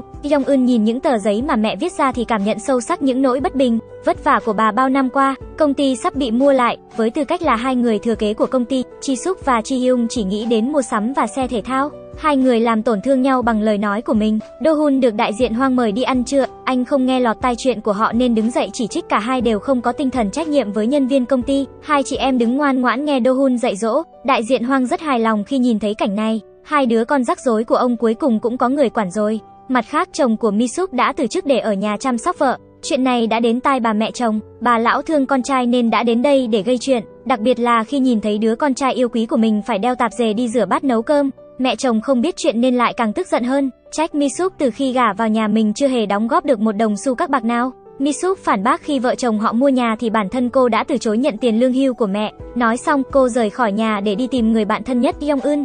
Hai người diễn lại cuộc cãi vã vừa rồi, Misuk tiếc nuối vừa rồi không nói gay gắt hơn. Yong Eun trò chuyện với cô về kế hoạch của Jaeguk, hiện tại cô không chắc có nên đến Paris hay không. Misuk đang nghỉ ngơi ở nhà Yong Eun thì Suho đến, mẹ chồng cũng vô cùng tiếc nuối khi biết tin Misuk mắc bệnh. Yong Eun thuyết phục anh ta quay lại làm việc, cô biết điều Misuk cần nhất không phải là sự quan tâm của chồng, mà mong rằng khi cô đăng xuất thì mọi chuyện sẽ quay trở lại bình thường. Thấy chồng yên tâm đi làm thì cô mới có thể ra đi thanh thản. Suho nghe xong không cầm được nước mắt, cho đến giây phút sinh ly tử biệt thì anh ta mới nhìn ra được lòng mình. Anh hối hận vì rõ ràng có rất nhiều thời gian để ở cùng vợ nhưng lại không trân trọng. Buổi tối, Du Dung đến studio nói chuyện với Jaegook. Thời gian qua cô ta đã nghĩ thông, cảm xúc của cô dành cho Suwon hồi đó không phải là tình yêu mà là không cam tâm. Ngay cả khi không có Yong Eun xuất hiện thì cô ta và Suwon có thể cũng không đi đến cuối cùng được. Lần này Du Dung đến là để khuyên Jaegook hãy kiên trì và đi tiếp với Yong Eun. Điều đáng tiếc nhất là lẽ ra chúng ta đã có thể ở bên nhau nhưng lại bỏ lỡ giữa chừng. Dù cô vẫn không thể tha thứ cho Yong Eun, nhưng hứa sẽ không ngăn cản hai người nữa. Jae mong chờ được sống ở Paris, nhưng Yong Eun đang ở trong xoáy nước và không thể thoát ra được. Bố mẹ thì ly hôn, bạn thân thì lâm bệnh nặng, công ty bấp bênh, cấp dưới thì lung lay. Những người này và những chuyện này đè lên vai cô làm cô không có cách nào rời đi được. Jae có thể hiểu được khó khăn của cô, nhưng nhìn vào studio đổ nát của mình thì thấy Paris mới là sân khấu của anh. Sau khi hormone tình yêu hết tác dụng thì cuối cùng cả hai đều phải đối mặt với hiện thực. Công ty ở bên Pháp chưa phản hồi, Yong Eun quyết định tổ chức sâu thời trang trực tuyến, đưa tác phẩm của mình đến tay công chúng để đánh giá. Nhưng sự kiện này chắc chắn sẽ tiêu tốn rất nhiều tiền bạc và vật chất. Lòng dạ của Quang Su vốn đã không còn ở công ty nên đương nhiên sẽ không quan tâm đến những thứ này. Anh ta phê duyệt đề xuất của Yong Eun chỉ trong cái búng tay. Yong Eun báo cáo ý tưởng với đại diện Hoang, Chi Súp đồng ý với ý kiến này. Lâu nay, khách hàng chỉ nhìn vào thương hiệu khi chọn quần áo, không thèm để ý đến thiết kế. Cô đề xuất rằng nếu loại bỏ thương hiệu và chỉ trưng bày quần áo, thì mới có thể có cơ hội dựa vào mẫu thiết kế để trở mình. Và với các mối quan hệ của Dohun thì việc mời khách mời đến là chuyện nhỏ, chỉ là dựa vào điều kiện hoạt động hiện tại của công ty, vấn đề tài chính có thể khó giải quyết hơn. Đại diện Hoang đưa ra quyết định đầu tư vào hoạt động này. Về chuyện tiền bạc thì ông ta lúc này mới nói ra sự thật, công ty không hề được mua lại, những người trong nhóm kiểm tra thực chất là những nhà đầu tư mới. Ngay khi tin tức được đưa ra, những nhân viên đang tìm công ty mới đã vội vã quay trở lại, bị cản trở bởi những tin đồn một thời gian. Trung tâm mua sắm ở Paris thì luôn gây khó dễ. Yong Eun không khiêm tốn cũng không hống hách và luôn tuân theo các nguyên tắc của mình. Cô đã nhận được sự công nhận của đại diện Hoang. Chi Súc cũng rất vui khi đề xuất của Yong Eun được phê duyệt. Trong mắt đại diện Hoang, cô là một đứa con gái không có năng lực, vậy nên cô mới suốt ngày dựa vào chuyện yêu đương để tìm kiếm sự công nhận từ bạn trai. Do Hun ôm cô khẳng định cô là người có năng lực. Yong Eun và Chi Súc mời Mi Súc tham gia sàn catwalk lần này. Mi Súc không thể tin được, sau khi choáng ngợp một hồi thì cô đã rất vui vẻ nhận lời. Cô sẽ trở lại với hình tượng người mẫu trước đây. Về phần Suho, anh sẽ đảm nhận vai trò dẫn chương trình cho sự kiện lần này. Chi Súp nửa dọa nửa động viên anh làm tốt. Cuối cùng ông Tetsu bị vợ đuổi ra khỏi nhà, nên chỉ có thể đến nhà con gái ở nhờ. Ông vẫn chưa nhận ra lỗi lầm của mình, nhưng Yong Eun biết bố mẹ yêu nhau sâu đậm, họ chỉ thiếu cơ hội để bày tỏ. Ông Tetsu đỏ mặt trước những lời con gái nói. Lại một ngày đẹp trời khác, Yong Eun tích cực tham gia công việc. Jae-guk được mời chịu trách nhiệm quay chương trình. Jae-guk sẵn sàng chờ đợi Yong Eun giải quyết mọi thứ ổn thỏa rồi đi Paris cùng mình. Suho cũng đã quay trở lại làm việc, chuẩn bị thật tốt cho buổi trình diễn thời trang. Chi và Yong Eun, người thì giúp Mi nghiên cứu cách catwalk, người thì giúp cô đo kích thước. Họ đều rất vui khi được làm việc với những người cùng chí hướng, vì công việc của Yong Eun đã được cải thiện nên càng không muốn rời Hàn Quốc. Jaegook cũng nghĩ mình không thể cố chấp mãi được, anh không biết mình nên đi đâu về đâu, chán nản, anh đến mộ Suwon uống rượu. Ngày diễn catwalk, con gái vào hậu trường tìm Mi mẹ con Mi gặp Min Ki Ong. Cô ta cảm thấy không thoải mái, nhưng Mi Suk đã giao con gái cho cô ta chăm sóc tạm thời. Nhìn hai người tay trong tay rời xa, chỉ khi đó Misuk mới có thể yên tâm bước lên sân khấu trước sàn catwalk. Trước khi lên sân khấu, cô lo lắng mình sẽ không trụ được, nên đã nghiến răng uống 3 viên thuốc giảm đau. Mọi thứ đang diễn ra một cách có trật tự, người mua từ khắp nơi trên thế giới cũng đang online, tỷ lệ kết nối vượt quá mong đợi. Olivier, người từng coi thường Sono, cũng đang theo dõi. Misuk sắp lên sân khấu, cả trên sân khấu lẫn dưới sân khấu đều đổ mồ hôi vì cô. Cuối cùng cô đóng vai trò là người mẫu kết màn, kết thúc phần trình diễn catwalk. Cô đứng ở giữa trung tâm sân khấu, rực rỡ như một đóa hoa cuối đời. Chiếc váy trắng này được Yong Eun thiết kế riêng cho bạn mình. Trên thế giới chỉ có một bộ, họ biết ơn khi có thể gặp và làm bạn với nhau suốt thời gian qua. Khi kết màn cả hai ôm nhau mà rơi nước mắt, buổi trình diễn thời trang thành công tốt đẹp, lượt đặt hàng cao đỉnh điểm. Sự nổi tiếng của Sono làm Du Dung bắt đầu thấy hối hận khi rút họ khỏi quầy hàng. Yong Eun tự hào về sự nghiệp nhưng lại gặp khủng hoảng trong đường tình duyên. Sau khi cân nhắc kỹ lưỡng, Jae-gook quyết định từ bỏ mối quan hệ này. Anh sẽ yêu Yong Eun hết lòng ở tháng cuối cùng rồi sau đó sẽ chia tay và sẽ quay lại Paris ngay sau đó. Hai người đồng ý chia tay trong nụ cười. Jae-gook lái xe đưa Yong Eun đi làm. Trong một tháng cuối cùng này, cả hai đều cố gắng hết sức để yêu nhau. Xe bị Jae-gook mượn mà không hỏi, Do Hun chỉ có thể gọi bạn gái Chi Suk đưa đi làm. Chi Suk lái xe không vững nên người ngồi xe cô không thể không sợ hãi. Chi Súc đang có tâm trạng tốt, vì đây là lần đầu tiên cô thành công bằng nỗ lực của mình. Với sự kết hợp giữa cô và Yong Eun, không chỉ giúp thương hiệu vào trung tâm mua sắm Paris, mà còn có được sự công nhận của bố. Sau khi tiễn Do Hun thì Chi Súc nhìn thấy Min Ki Ong đang lôi lôi kéo kéo Suho. Lần này cô không chọn nghe lén nữa, mà cô lái xe đi giữa hai người một cách công khai cảnh báo hai người đừng có làm bừa. Qua lần này, năng lực của Yong Eun đã được thế giới bên ngoài nhìn thấy. Có vô số headhunter gọi điện để săn lùng cô, cấp dưới không khỏi suy đoán nếu cứ tiếp tục thế này thì liệu Yong Eun có nhảy việc để chọn nơi tốt hơn không? Quang Su nghe tin này lập tức chạy đến định nọt cô, bày đặt tặng cho cô nước tăng lực, nhân tiện thì cũng kiểm tra xem Yong Eun có ở lại hay không. Đương nhiên các tạp chí thời trang sẽ không để yên cho một người đang hot là Yong Eun. Họ liên tục gọi cho Yong Eun để mời phỏng vấn nhà thiết kế tháng này. Tổng biên tập cho biết lý do chọn họ là vì Olivier đã để mắt đến Sono. Đội ngũ thiết kế rất vui mừng khi biết tin này. Qua cuộc phỏng vấn kia, sản phẩm mới của Sono trong mùa này cũng có thể tiếp tục mở rộng phạm vi quảng bá. Chi Suk nghe xong lại háo hức, nhưng cũng tức vì không là người được phỏng vấn. Sono thành công làm cho ban quản lý cấp cao của trung tâm mua sắm nơi Du Dung làm việc nhận ra rằng làm khó họ trước đây là một quyết định sai lầm, trực tiếp ra lệnh cho Du Dung phải đưa Sono về. Nghĩ đến quyết định tuyệt tình của Yong Eun trước đây, Du Dung cảm thấy vắng đầu. Trung tâm mua sắm ở Paris quyết định kéo dài thời gian lên 2 tháng. Thành công này còn nhờ vào sức lực của Jae-guk. Yong Eun nghĩ đến việc chưa mời Jae-guk một bữa đàng hoàng lần nào nên quyết định tự tay vào bếp. Kết quả là Jae-guk mới là người nấu, còn Yong Eun phụ trách cầm máy tính bảng để đọc nguyên liệu. Cả hai đều là tay mơ, vừa cười vừa chuẩn bị bữa tối. Sự ấm áp bình thường ấy là sự dịu dàng cuối cùng còn lại của Jae-guk dành cho Yong Eun. Anh lo lắng rằng sau khi mình rời đi, Yong Eun không thể tự chăm sóc bản thân, nên đã dặn dò cô phải học nấu ăn. Đang ăn thì chủ nhà gọi đến nói studio của Jae-guk đã hết hạn hợp đồng, sẽ có người thuê nhà mới chuyển đến vào tháng tới. Yong Eun giả vờ bình tĩnh khi biết tin, tiếp tục ăn trong im lặng. Buổi tối, Misuk nằm trên ghế sofa xem phim hoạt hình cùng con gái. Suho phụ trách chuẩn bị cơm cho hai mẹ con. Cùng với sự phát triển của bệnh tình thì tình hình càng lúc càng tệ đi con gái thấy mẹ đau đớn thì hiểu ý đi lấy thuốc và nước cho mẹ. Bình thường nhìn bố làm như vậy nên cô bé đã học được cách chăm sóc mẹ. Nhìn con gái hiếu thảo, Misuk không đành lòng để đứa nhỏ chịu đựng nhiều như vậy.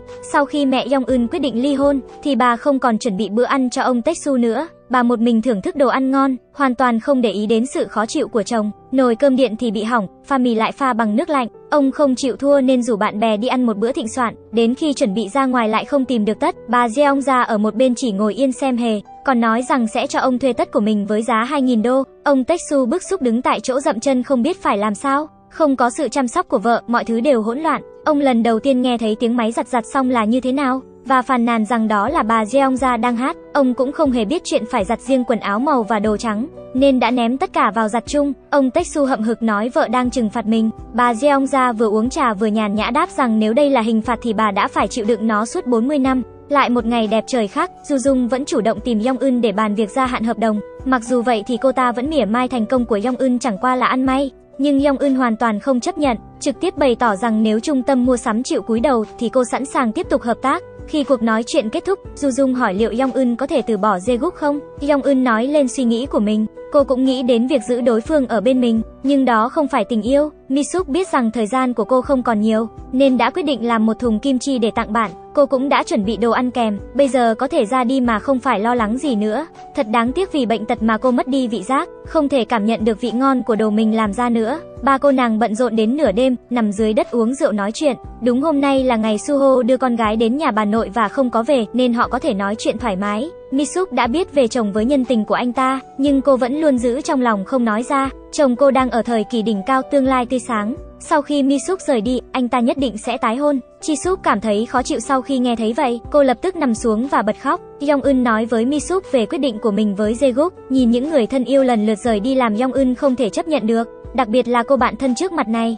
sự chia xa lần này là âm dương cách biệt. Thực ra Misuk cũng sợ về với các cụ chứ bộ, hai người ôm nhau khóc nức nở. Chi Suk nằm bên cạnh cũng lặng lẽ khóc. Sau khi làm kim chi, Misuk quyết định chia một ít cho Min Ki Ong. Cô mời Min Ki Ong về nhà mình lấy nhân tiện uống một cốc trà chiều. Suho biết chuyện thì dặn dò Min Ki Ong đừng có nói linh tinh. Min Ki Ong bảo anh ta yên tâm rồi mang những bức ảnh home catwalk đến cho Misuk. Jae quyết định trở lại Paris và không còn gia hạn hợp đồng với công ty của Dohun nữa. Do-hun rất ngạc nhiên trước tin tức bất ngờ này, nhưng nghe nói anh có cơ hội tổ chức một cuộc triển lãm thì lại không thể không mừng cho anh. Nhưng lần này Jaeguk không có ý định về nước, ngày chia tay đang đến gần, Yong Eun muốn nói lời tạm biệt, nên đã cố tình đi đường vòng khi lái xe đi làm, muốn dành nhiều thời gian hơn cho Jaeguk.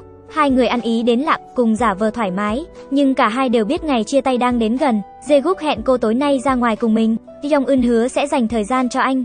Yong Eun đọc kịch bản phỏng vấn một hồi rồi quyết định từ chối phỏng vấn lần này. Olivier được nhắc đến khắp mọi chỗ trong các câu hỏi, rõ ràng là đang phỏng vấn Sono nhưng lại lợi dụng cuộc phỏng vấn này để làm nền cho Olivier, không hề nhắc đến Sono dù chỉ một từ. Chủ biên cố gắng níu giữ Yong Eun, vì dù sao thì cũng là Olivier bỏ tiền ra mua những bản tạp chí này. Yong Eun không muốn dựa hơi người khác và hủy hoại uy tín của mình nên vẫn từ chối. Chuyển cảnh, chủ biên tìm Du Dung để hỏi về Yong Eun. Du Dung thẳng thắn cho rằng Yong Eun là người khiến cô ghen tị. Nếu đã như vậy thì chủ biên càng hứng thú với Yong Eun hơn. Giải quyết xong chuyện này, Yong Eun tan làm sớm và đến studio. Jae-guk lúc này cũng chỉ còn một vị khách cuối cùng. Yong Eun ngồi đợi anh làm xong việc. Trong lúc đó, Chi Suk liên tục gọi điện hỏi chuyện từ chối phỏng vấn. Yong Eun không muốn đi sâu vào chi tiết nên đã cúp điện thoại. Cô xem tin nhắn mới nhất trên điện thoại của Jae-guk, đó là việc xác nhận thời gian bay của anh. Yong Eun biết rằng thời gian họ bên nhau sắp hết, kết thúc một ngày làm việc, Yong Eun và Jae-guk cùng nhau đi dạo, cảnh đêm thật quyến rũ và không khí cũng trong lành. Hai người không muốn nói lời chia tay, nhưng mỗi lời nói đều trong hoài niệm, hai người sẽ không bao giờ có nhau trong tương lai. Mặt khác, bạn trai cũ của Chi Súc đã nhắn tin đòi quay lại. Chi Súc tỏ vẻ chán ghét, trực tiếp block anh ta. Cô quay sang gọi cho anh yêu Do Hun. Bạn trai cũ không thể liên lạc được với Chi Súc qua điện thoại nên đã chạy đến công ty cô. Anh ta nói mình không thể kiếm được việc làm nếu không có Chi Súc. Đây là kiểu đạo đức giả, nói vài lời ngọt ngào để quay lại, nhưng Chi Súc không còn là kẻ hám trai như xưa nữa. Cô thẳng thừng từ chối và tuyên bố mình đã có bạn trai. Bạn trai cũ không tin cho đến khi Do Hun xuất hiện và đưa Chi Súc đi. Anh ta nghe thấy Chi Suk gọi Do Hun là giám đốc sale. Bà hi ốc mang kim chi cho Do Hun và Jae-guk. Bà choáng váng khi vô tình biết được Jae-guk đang có ý định đến Paris, và thế là bà đã đe dọa hai người rời xa nhau bằng sự ra đi của mình. Nhưng cũng đồng thời bây giờ bà phải chịu việc mất con. Chi Suk gọi Do Hun như thường lệ, nhưng lần này Do Hun không bắt máy. Anh đang nói chuyện với đại diện Hoang, ông đã nhìn thấy những thay đổi của Chi Suk trong khoảng thời gian này và công nhận khả năng của Dohun, vì vậy dự định chuyển toàn bộ hoạt động kinh doanh, quan hệ công chúng của công ty sang cho anh. Nhưng tin tức này phải được giữ bí mật với Chi Suk. Hai người tiến triển tốt đẹp làm ông cũng rất hài lòng. Bạn trai cũng nghe thấy cuộc trò chuyện giữa hai người ngoài cửa thì bèn vạch ra một kế hoạch. Anh ta liền gọi điện nói với Chi Suk rằng Dohun tiếp cận cô chỉ vì tiền, chứ không hề yêu thương cô thật lòng. Cùng lúc đó, Olivier đã gửi email để chiêu mộ Yong Eun về. Công ty đã thuê Dohun để thúc đẩy vụ việc. Suho lập tức thông báo cho Dohun Lúc Do-hun đọc email cũng buột miệng nói ra từ chiêu mộ. Đại diện Hoang thấy phản ứng của anh hơi lạ nên hỏi chiêu mộ gì, chiêu mộ ai. Do-hun không muốn nói, nhưng đại diện Hoang khôn ngoan có thể nhìn thấu trong nháy mắt, hỏi xem có phải có công ty nào đang muốn chiêu mộ Yong Eun không. Chi Suk cúp máy với bạn trai cũ rồi điên cuồng gọi cho Do Hun để xác nhận. Tiếc là Do Hun đang nói chuyện điện thoại với Yong Eun nên không bắt máy được. Trái tim của Chi Suk cũng vì không liên lạc được với Do Hun mà đang vỡ ra từng chút. Công việc cuối cùng của Jae là chụp ngoại cảnh. Yong Eun chủ động đề nghị tham gia cùng anh, càng phải chia tay thì cô lại càng không nỡ. Rõ ràng là cô đã đề nghị chia tay, nhưng bây giờ lại càng mất tự tin. Một ngày nữa lại trôi qua, Yong Eun cuối cùng cũng hỏi Jae khi nào rời đi. Cô tặng cho Jae một chiếc túi mới. Đây không phải là quà chia tay, mà là một món quà để bắt đầu một cuộc sống mới của Jae Jae lại hỏi cô có muốn đi Paris cùng anh không? Yong Eun từ chối và nói rằng có duyên thì sẽ gặp lại. Lúc đó cô sẽ không còn tìm cớ trốn chạy nữa. Jae nói với cô rằng anh sẽ đợi cô. Đang nói thì Dohun không tìm được Yong Eun nên đã gọi cho Jae Yong Eun bắt máy và biết chuyện hãng thời trang hàng đầu thế giới muốn chiêu mộ mình. Đây là cơ hội duy nhất trong đời của Yong Eun. 10 năm trước cô vì Suwon mà từ bỏ công ty này để quay về Hàn Quốc. Bây giờ công ty kia đã chủ động tìm cô, nhưng Yong Eun lại do dự không biết nên lựa chọn như thế nào. Bây giờ Yong Eun như là một miếng bánh ngọt, với sức cạnh tranh khốc liệt hiện nay, doanh số của Sono ngày càng tăng. Trung tâm mua sắm của Du Dung cũng đang rầm rộ chuyển gian hàng của Sono lên vị trí nổi bật nhất. Bây giờ Yong Eun hoàn toàn nắm giữ thế chủ động, ngay cả người luôn mâu thuẫn với cô là Quang Su cũng bắt đầu ủng hộ vô điều kiện các quyết định của Yong Eun. Đại diện Hoang nhìn Yong Eun trong lòng nặng trĩu, phản ứng của Do Hun ngày hôm đó đã làm ông đoán được có công ty muốn chiêu mộ Yong Eun, vì tương lai của Yong Eun nên đại diện Hoang không giữ cô lại và còn dặn dò riêng Do Hun rằng hãy cố hết sức để thỏa thuận điều kiện cũng như mức đãi ngộ tốt nhất cho Yong Eun. Lúc này, Yong Eun vẫn đang không biết nên làm gì. Đối phương chỉ cho cô một tuần để suy nghĩ, nhìn các thành viên trong nhóm đang hào hứng khi biết cửa hàng Sono đã được chuyển lên vị trí nổi bật nhất. Cô cũng đang tích cực thảo luận với mọi người về sản phẩm cho mùa tiếp theo. Kết thúc công việc, Yong Eun đến studio của Jae Cô thấy hôm nay anh lại có nhiều khách lạ thường.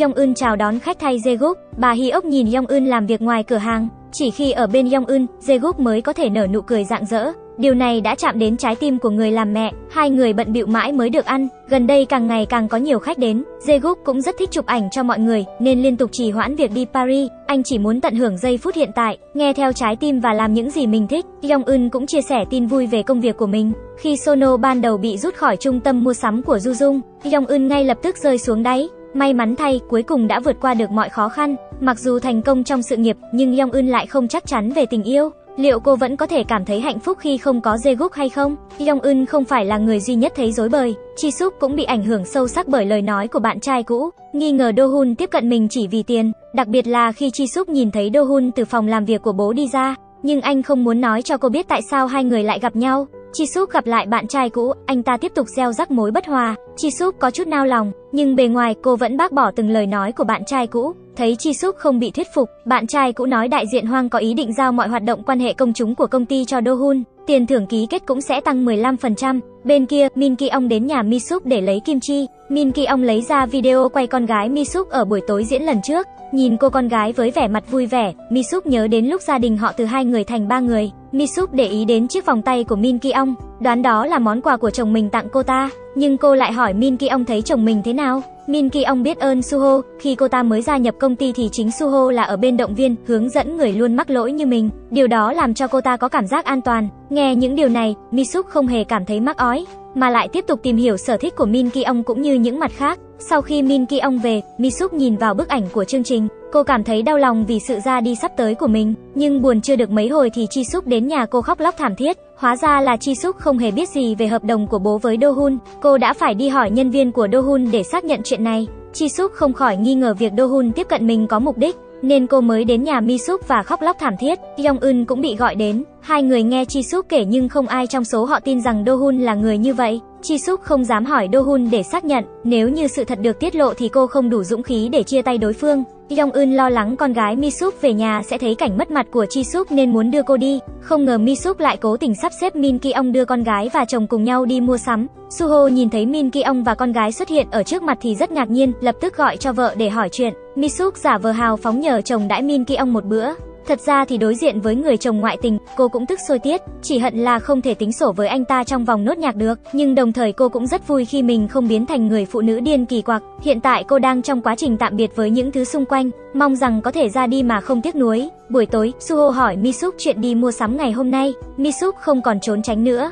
Từ rất lâu rồi cô đã nhận ra, khi mà chồng bảo đang nói chuyện với khách hàng thì đều cười rất vui vẻ. Từ đó, Misuk nhận ra chồng mình đã ngoại tình. Chi Suk lấy sự động viên từ Yong Eun, dùng hết can đảm để đối diện trực tiếp với Do Hun, muốn chắc chắn rằng Do Hun có phải vì tiền nên mới tiếp cận mình hay không. Tấm chân tình bị Chi Suk nghi ngờ, Do Hun chỉ có thể nói đi nói lại rằng việc giành được dự án nhờ vào năng lực của mình. Anh thường tách tình yêu ra khỏi công việc. Nói xong, Dohun cảm thấy bị tổn thương nên yêu cầu Chi Suk rời đi. Kể từ lúc đó, Dohun luôn thờ ơ với Chi Suk. Chi Suk không chịu nổi sự lạnh lùng nên đề nghị chia tay. Dohun cũng không níu kéo, chỉ nói một câu, anh biết rồi và vào thang máy rời đi. Chuyển cảnh đến chỗ bố mẹ của Yong Eun, thấy vợ nhất quyết ly hôn nên ông Teksu đã lén đọc thư giải trình, ghi lại sự không hài lòng của bà. Đây cũng là lần đầu tiên ông hiểu được suy nghĩ nội tâm của vợ, để phục vụ cho sở thích của chồng mà bà phải ăn cơm chan nước lọc mỗi ngày. Ăn như vậy thì cơm sẽ mềm hơn, đó là chuyện nhỏ với người ngoài, nhưng những điều nhỏ nhặt cứ nhân lên, bởi vì trong lòng bà đã tích lũy quá nhiều bất bình rồi, dù có cố gắng thế nào cũng không thoát ra được, dần dần việc đó trở thành lời phàn nàn, cuối cùng chỉ có sự chán ghét chồng mà thôi. Đọc lá thư xong, ông Tetsu không biết làm gì ngoài việc dán tờ giấy xin lỗi vào đó. Xin lỗi bà tôi không biết bà luôn phải chịu ấm ức như thế, Bà Jeong Ja cũng xúc động khi nhìn thấy câu này, chuyện bố mẹ không được suôn sẻ, nhưng phía Jong Eun cũng chẳng khá hơn là bao. Hôm nay cô ở lại văn phòng một mình sau giờ làm việc, đang suy nghĩ về việc có nên đi Paris không? Jae cũng đang có chuyện cần suy nghĩ, anh vẫn luôn trì hoãn ngày đi nước ngoài, là đang chờ câu trả lời của Yong Eun. Trước đó anh đã hay tin từ Do Hun rằng có công ty nổi tiếng nước ngoài muốn chiêu mộ Yong Eun, nhưng Yong Eun giữ im lặng về vấn đề này. Jae cũng không muốn cố hỏi, anh chọn tạm ở lại Hàn Quốc để chụp ảnh cho khách. Thấy bạn mình lãng phí tài năng, Do Hun không thể ngồi yên, anh quyết định gặp Jong Eun nói chuyện. Jae được hiệp hội nhiếp ảnh gia Pháp mời tổ chức triển lãm, nhưng anh đã ở lại Hàn Quốc để chụp mấy tấm ảnh kiểu như chứng minh thư. Mặc dù Do Hun hiểu rằng Jae đang chờ đợi câu trả lời của Jong Eun, nhưng anh lo lắng Jae sẽ mất đi cơ hội hiếm có này. Do Hun đề nghị Jong Eun đi Pháp cùng Jae để theo đuổi ước mơ. Thời gian cấp bách Jae cũng nhận ra rằng anh không thể trì hoãn được nữa. Anh đã đặt xong vé máy bay và cũng đã dán giấy bên ngoài studio.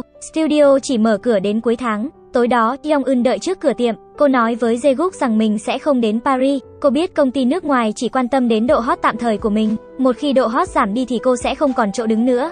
Vì cô hiểu rõ công ty kia đưa ra những điều khoản hào phóng như vậy thì bản thân cô cũng phải tăng gấp đôi doanh số bán hàng tương ứng. Cuối cùng, thậm chí để hoàn thành nhiệm vụ thì có thể sẽ phải không ngần ngại gian lận. Bằng cách này, Yong Eun đã tiễn Zeguk đi, hy vọng anh có thể theo đuổi một tương lai rộng lớn hơn. Zeguk về nhà uống cho vơi nỗi buồn, anh yêu Yong Eun nên mới không thuyết phục cô làm việc cho công ty nước ngoài. Anh hiểu công ty đó chỉ muốn lợi dụng sự nổi tiếng của Yong Eun để tăng doanh thu. Sau khi hết hạn hợp đồng một năm thì sẽ viện ra nhiều lý do để đuổi cô đi. Anh không thể để Yong Eun phải chịu đau khổ vì dục vọng ích kỷ của mình, nên anh đành chịu đựng một mình. Cảm giác đau lòng đó không chỉ Jaeguk mới có. Trước đó, Yong Eun đã gặp mẹ của Jaeguk. Bà hy vọng Yong Eun có thể chủ động chia tay, vì tương lai của Jaeguk và tương lai của chính cô. Yong Eun cũng có ý định này. Ngày tiếp theo, Yong Eun sắp xếp lại tâm trạng và bắt đầu ngày làm việc. Cô chính thức từ chối lời mời từ công ty nước ngoài. Đại diện Hoang không hiểu sao Yong Eun lại lựa chọn như vậy. Yong Eun có vẻ rất thoải mái. Cô nói rằng qua lần này, cuối cùng cũng hiểu được sự cố chấp của mình với Sono. Chính Sono đã tạo nên Yong Eun như ngày hôm nay. Đại diện Hoang thấy hơi xấu hổ. Ông không tin Yong Eun lại là một người chính trực như vậy. Ông luôn cho rằng cô sẽ mở mắt vì tiền và cũng vì có thể trèo lên được vị trí như bây giờ mà đè Chi xúc ở dưới. Đại diện Hoang hôm nay chính thức làm quen lại với Yong Eun, quyết định tách Sono khỏi công ty để Yong Eun chịu trách nhiệm hoàn toàn. Yong Eun cảm thấy hãnh diện và muốn suy nghĩ nghiêm túc về điều đó. Ngay sau đó, Yong Eun nhận được cuộc gọi từ tạp chí. Yong Eun từ chối lời mời của Olivier. Lần này họ đặc biệt chuẩn bị một chủ đề về Yong Eun, mong được cô chấp nhận phỏng vấn. Yong Eun cuối cùng cũng đã được công nhận. Công việc đang rất là thuận lợi và đi đúng hướng. Chớp mắt một cái, mùa thu đang đến gần. Cô đã cảm nhận được tình yêu rực lửa và đã có thể buông tay Jae nhưng Jae-guk vẫn muốn cố níu kéo thêm lần nữa. Anh mua hai vé máy bay đến Paris, anh muốn Yong Eun từ bỏ mọi yếu tố bên ngoài, chỉ xem xét mối quan hệ giữa hai người, quyết định xem có nên rời đi với mình không. Lắng nghe lời nói từ trái tim Jae-guk, Yong Eun rơi nước mắt, nhưng cô lại do dự không biết lựa chọn thế nào. Tối đó, ông Tae-su đến gặp con gái, cuối cùng ông đã nhận ra vợ mình đã phải hy sinh những gì trong cuộc hôn nhân này, nhưng ý định ly hôn của bà Jeongja đã quyết, Yong Eun là con gái đương nhiên không muốn bố mẹ xa nhau, nhưng từ góc nhìn của một người phụ nữ, cô ủng hộ việc bố mẹ ly hôn. Mặc dù ông Tae-su là giáo viên, đã từng tiễn hết thế hệ học trò này đến thế hệ khác, nhưng ông lại không thể tiễn vợ mình đi được. Thấy bố rối bời như vậy, Yong Eun không khỏi nghĩ đến chuyện của mình. Lại một ngày đẹp trời khác, Yong Eun bắt đầu tiếp quản một thương hiệu độc lập. Độc lập có nghĩa là sẽ phải làm mới lại tất cả các mặt, cơ cấu nội bộ của công ty cũng sẽ được điều chỉnh. Đại diện Hoang quyết định sẽ để việc quảng bá công ty cho công ty Dohun. Ông cũng nói chuyện này cho Chi Suk biết. Ngay khi lời nói vừa thốt ra thì sự nghi ngờ của cô với Do Hun cũng lên đến đỉnh điểm. Trong mắt cô thì bố lại vì muốn gả đứa con gái bất tài này đi mà không ngần ngại hy sinh lợi ích để đổi lấy Do Hun. Thứ cô muốn không phải là loại tình yêu này. Đại diện Hoang không nói nên lời trước lối phát biểu ngây thơ của con gái. Một công ty lớn như vậy có liên quan đến việc làm của bao nhiêu nhân viên, làm sao có thể hy sinh vì một thứ tầm thường như tình yêu được, rồi để lại mọi việc của công ty cho Do Hun. Do Hun được chọn tất cả là do năng lực của anh. Không phải Do Hun không nói những lời này với Chi Súc, mà là cô bị bạn trai cũ khích đều nên mới không nghe lọt tai. Bây giờ nghĩ lại, Chi Súc mới nhận ra mình đã hiểu lầm Do Hun, nhưng cô không biết mở miệng chuộc lỗi như thế nào và Yong Eun đã khai sáng cho Chi Súc để quay lại thuyết phục Do Hun. Mâu thuẫn hiện tại giữa hai người không sâu sắc và vẫn kịp để hàn gắn, không giống như mối quan hệ của cô với Jae-guk, nó đã đạt đến trạng thái bấp bênh. Jae-guk nhất định phải trở lại Paris, nhưng Yong Eun quyết tâm ở lại Seoul. Studio của Zeguk sắp đóng cửa, Dohun cũng giúp anh đóng gói gần xong hành lý. Khả năng chụp ảnh hạng nhất của Zeguk là không thể bàn cãi, nhưng những điều chăm lo trong cuộc sống của anh thì Dohun luôn có mặt. Zeguk đưa bức ảnh ba người bạn cho Yong Eun, ngắm nhìn những khoảnh khắc đẹp do máy ảnh lưu giữ lại. Yong Eun không hề muốn rời xa bạn mình chút nào. Misuk càng không bỏ lại cô con gái bé nhỏ. Cô bé sắp vào tiểu học, vợ chồng Misuk đã chuẩn bị những vật dụng cần thiết để bắt đầu năm học mới, từ thẻ tên đến phụ kiện quần áo, Misuk đã chuẩn bị đầy đủ cho con, con gái tự mình tắm xong ra ngoài, trẻ 7 tuổi ngày nay lớn nhanh quá, Misup vừa mừng vừa thấy thương con, nhưng cô không còn nhiều thời gian nữa, sau đó lại phải trốn trong nhà vệ sinh để ho sợ con phát hiện ra, cô đã bắt đầu thổ huyết, nếu cứ tiếp tục như vậy thì e rằng sẽ nguy hiểm đến tính mạng, cô không sợ cái hẹo, chỉ sợ chưa chuẩn bị được mọi thứ cho con gái thì đã phải đi rồi. Đại biểu Hoang hỏi dò xem Yong Eun có rời đi không, Yong Eun không trả lời thẳng vào vấn đề, hứa sẽ trả lời rõ ràng vào cuối tuần. Yong Eun đi kiểm tra quá trình may, thợ may đã cẩn thận để riêng từng phiên bản cho họ. Dù bản thảo thiết kế đã gần hoàn thành, nhưng thợ may vẫn chưa hoàn thành công việc trước mắt. Dùng bàn ủi khiến việc này trở nên đơn giản và dễ dàng. Lại nhớ đến chiếc áo sơ mi đầu tiên của Yong Eun, cô thợ may khuyến khích Yong Eun đừng quên ý niệm ban đầu là tỏa sáng. Nghe thấy vậy, Yong Eun xem xét lại lời đề nghị đi Paris cùng Jae-guk. Giờ cô đã có một quyết định trong lòng. Yong Eun đến căn hộ để giúp Jae-guk đóng gói hành lý. Không ngờ lại gặp mẹ của Jae-guk ở đó, cả hai đều cảm thấy khó chịu. Yong Eun định rời đi trước, nhưng bà Hyok lần này không muốn ghê gớm nữa, chỉ nói với Jae-guk rằng bà muốn gặp riêng anh rồi đi trước. Cả hai tiếp tục gói ghém hành lý. Yong Eun đi công tác cũng là Jae-guk giúp cô dọn đồ. Với tất cả những cảm xúc dâng trào, cả hai đều biết thì cuối cùng thời khắc chia tay cũng sẽ đến. Mặt khác, bà Jeong ra là người ngoài miệng thì cứng nhưng trong lòng lại mềm. Mặc dù bà là người đề nghị ly hôn, nhưng vẫn luôn lo lắng cho sức khỏe của chồng, sợ chồng sẽ không quen ăn đồ lạ, nên đã đặc biệt chuẩn bị đồ ăn kèm và gửi đến nhà Yong Eun, bảo con gái hãy chăm sóc bố. Là một người mẹ từng trải nên bà thấy được sự vướng mắc của Yong Eun, nhưng giữa cuộc sống đầy những thăng trầm và những lựa chọn, Mọi người đều có sự lựa chọn của riêng mình, đôi vợ chồng già đi bên nhau 40 năm rồi cuối cùng cũng phải chia tay. Đạo lý này thì đương nhiên Yong Eun hiểu, nhưng cuối cùng cô lại không thể quyết định được. Nếu quyết định ở lại thì sẽ bắt đầu chuẩn bị cho sản phẩm mới của mùa tiếp theo ngay. Cấp dưới nhắc cô nhanh ký hợp đồng, nhưng Yong Eun vẫn chưa quyết định, nên việc này cứ chỉ hoãn mãi. Bà Hyok tìm đến studio của Jae muốn chụp ảnh với con trai trước khi anh rời đi. Bà nắm lấy tay anh và bảo mình sẽ luôn ở đây đợi. Cảm nhận tấm lòng chân thành của mẹ nên Jae chạy ra ngoài bảo mình sẽ chăm gọi điện về. Hai mẹ con cuối cùng cũng chút bỏ được mâu thuẫn. Ông Texu sẽ trang trí lại ngôi nhà cũ. Bà Jeong ra rất tức giận với hành vi của ông. Hai người ly hôn và căn nhà buộc phải bán. Đổi mới bây giờ là một sự lãng phí tiền bạc. Ông làm điều này với ý định trì hoãn việc ly hôn. Trên thực tế, bố của Yong Eun không nỡ chia xa căn nhà do con gái vất vả kiếm được. Suy cho cùng thì ngôi nhà này đã ở cùng với họ rất lâu rồi. Bên đây, tình trạng của mi suk đang xấu đi, tế bào ung thư đã lan đến dạ dày. Yong Eun và Chi Suk không thể chịu được mà rơi nước mắt. mi suk nằm trên giường bệnh lại bình thản đến khác lạ, vì cô muốn dùng chút thời gian cuối cùng để ở bên con gái.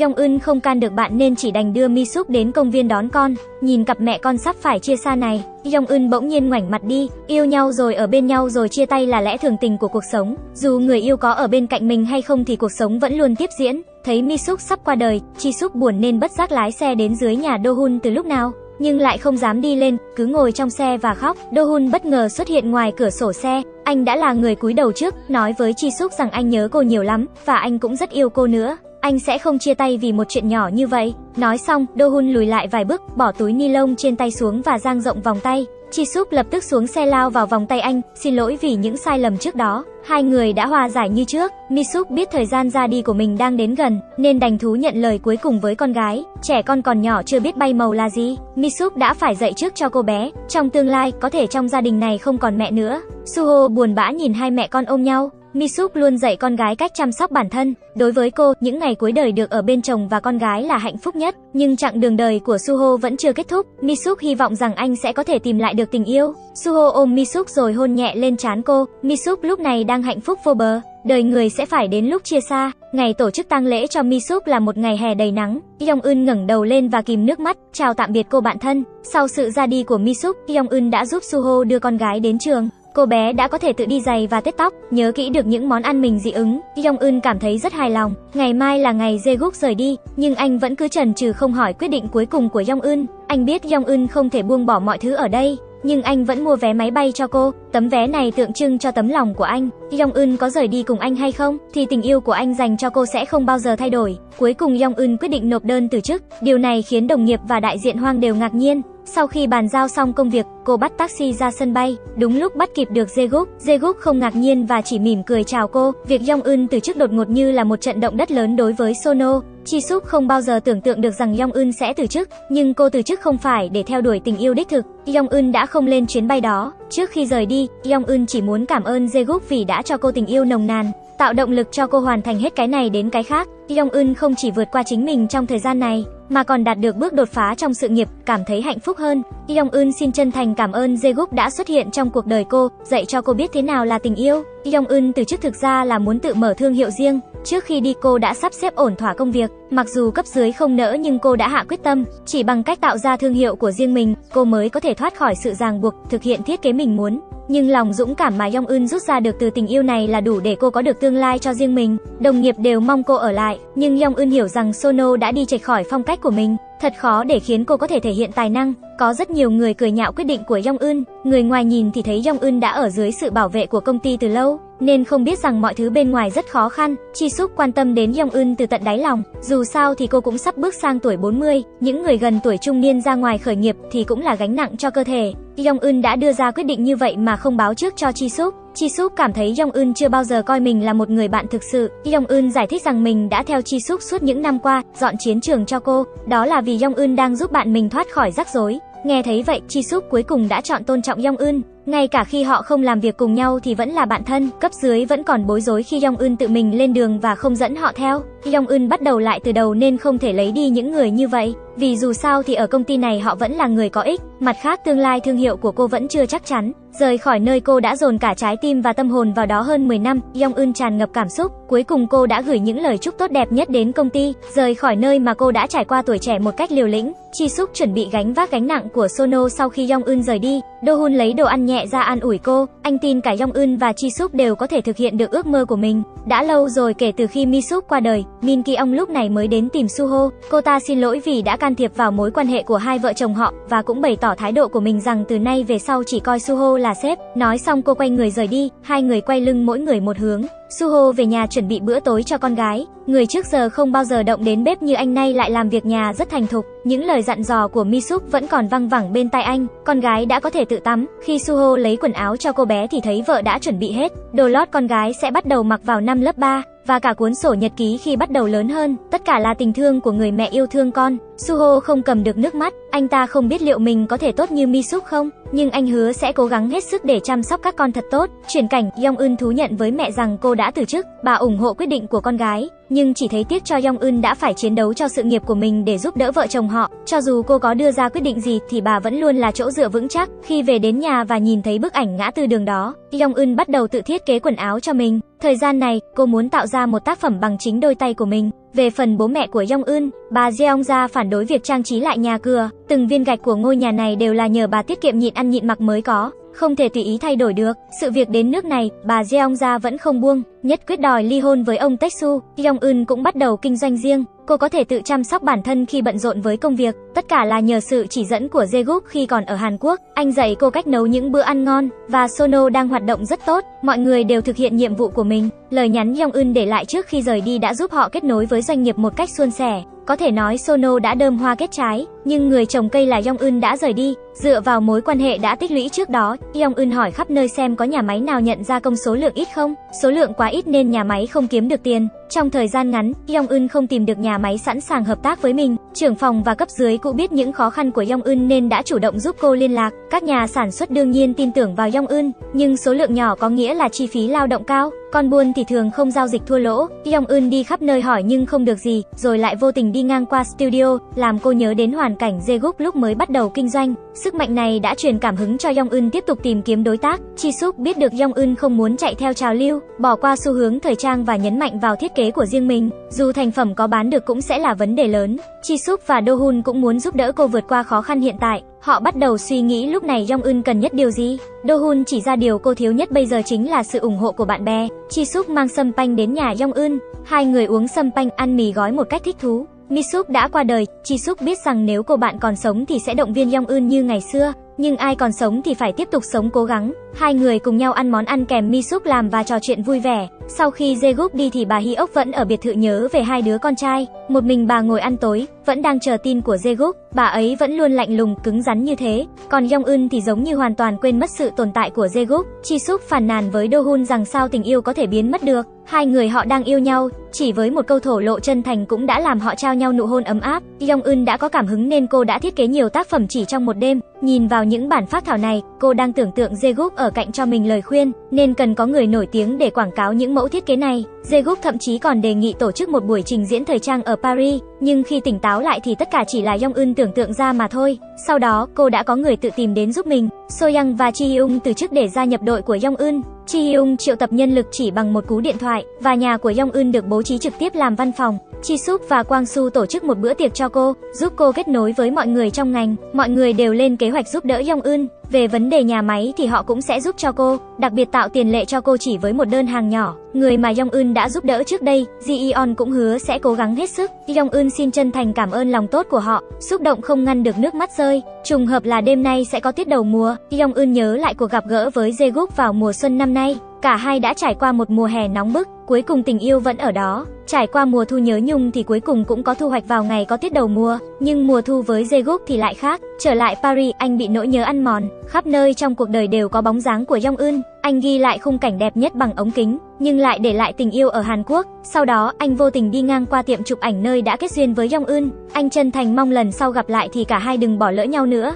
Zeguk vẫn không muốn nhận job, nhưng đối phương lại giới thiệu công việc ở Hàn Quốc, anh lập tức nhận lời không chút do dự. Sau khi trở về, Zeguk mới biết Yong Eun đã rời Sono, Do Hun đùa và khoe rằng mình và Chi Suk đã dọn về ở chung. Còn chưa được làm gì nhau thì đại diện Hoang đã gọi đến, việc hai người sống chung trước khi kết hôn là không đúng lắm, nhưng việc hai người nhất quyết đòi kết hôn là chuyện hơi gấp gáp, họ vẫn cần thời gian để tìm hiểu nhau. Thấy hai người đã quyết định, đại diện Hoang cũng không nói được nữa. Bố mẹ Yong Eun hình như đã ly hôn, ông Tae-su đến sửa bóng đèn ở nhà thì vô tình ngã vào người bà Jeong ra, ánh mắt đôi vợ chồng già nhìn nhau và tóe lửa tình. Ông Tae-su sợ tối bà Jeong ra không nhìn được đường đi nên mới đến sửa đèn. Thực ra thì bà không muốn gì nhiều, chỉ muốn chồng quan tâm mình mà thôi. Tình cảm cũng là đôi bên có với nhau. Bà Jeong ra cũng lo lắng rằng chồng hiện đang sống ở bên ngoài sẽ ăn không ngon miệng, nên đã làm món ăn kèm đưa cho ông, nhưng vẫn nhất quyết gọi chồng là ông hàng xóm. Ông Tetsu không hề khó chịu mà vui vẻ cầm đồ ăn đi, cặp đôi già đã dành phần lớn cuộc đời bên nhau, bây giờ lại bắt đầu học lại cách hòa hợp. Một năm nữa của tuần lễ thời trang, địa điểm vẫn là Busan quen thuộc, Jaegook cảm thấy mọi thứ đều đang thay đổi.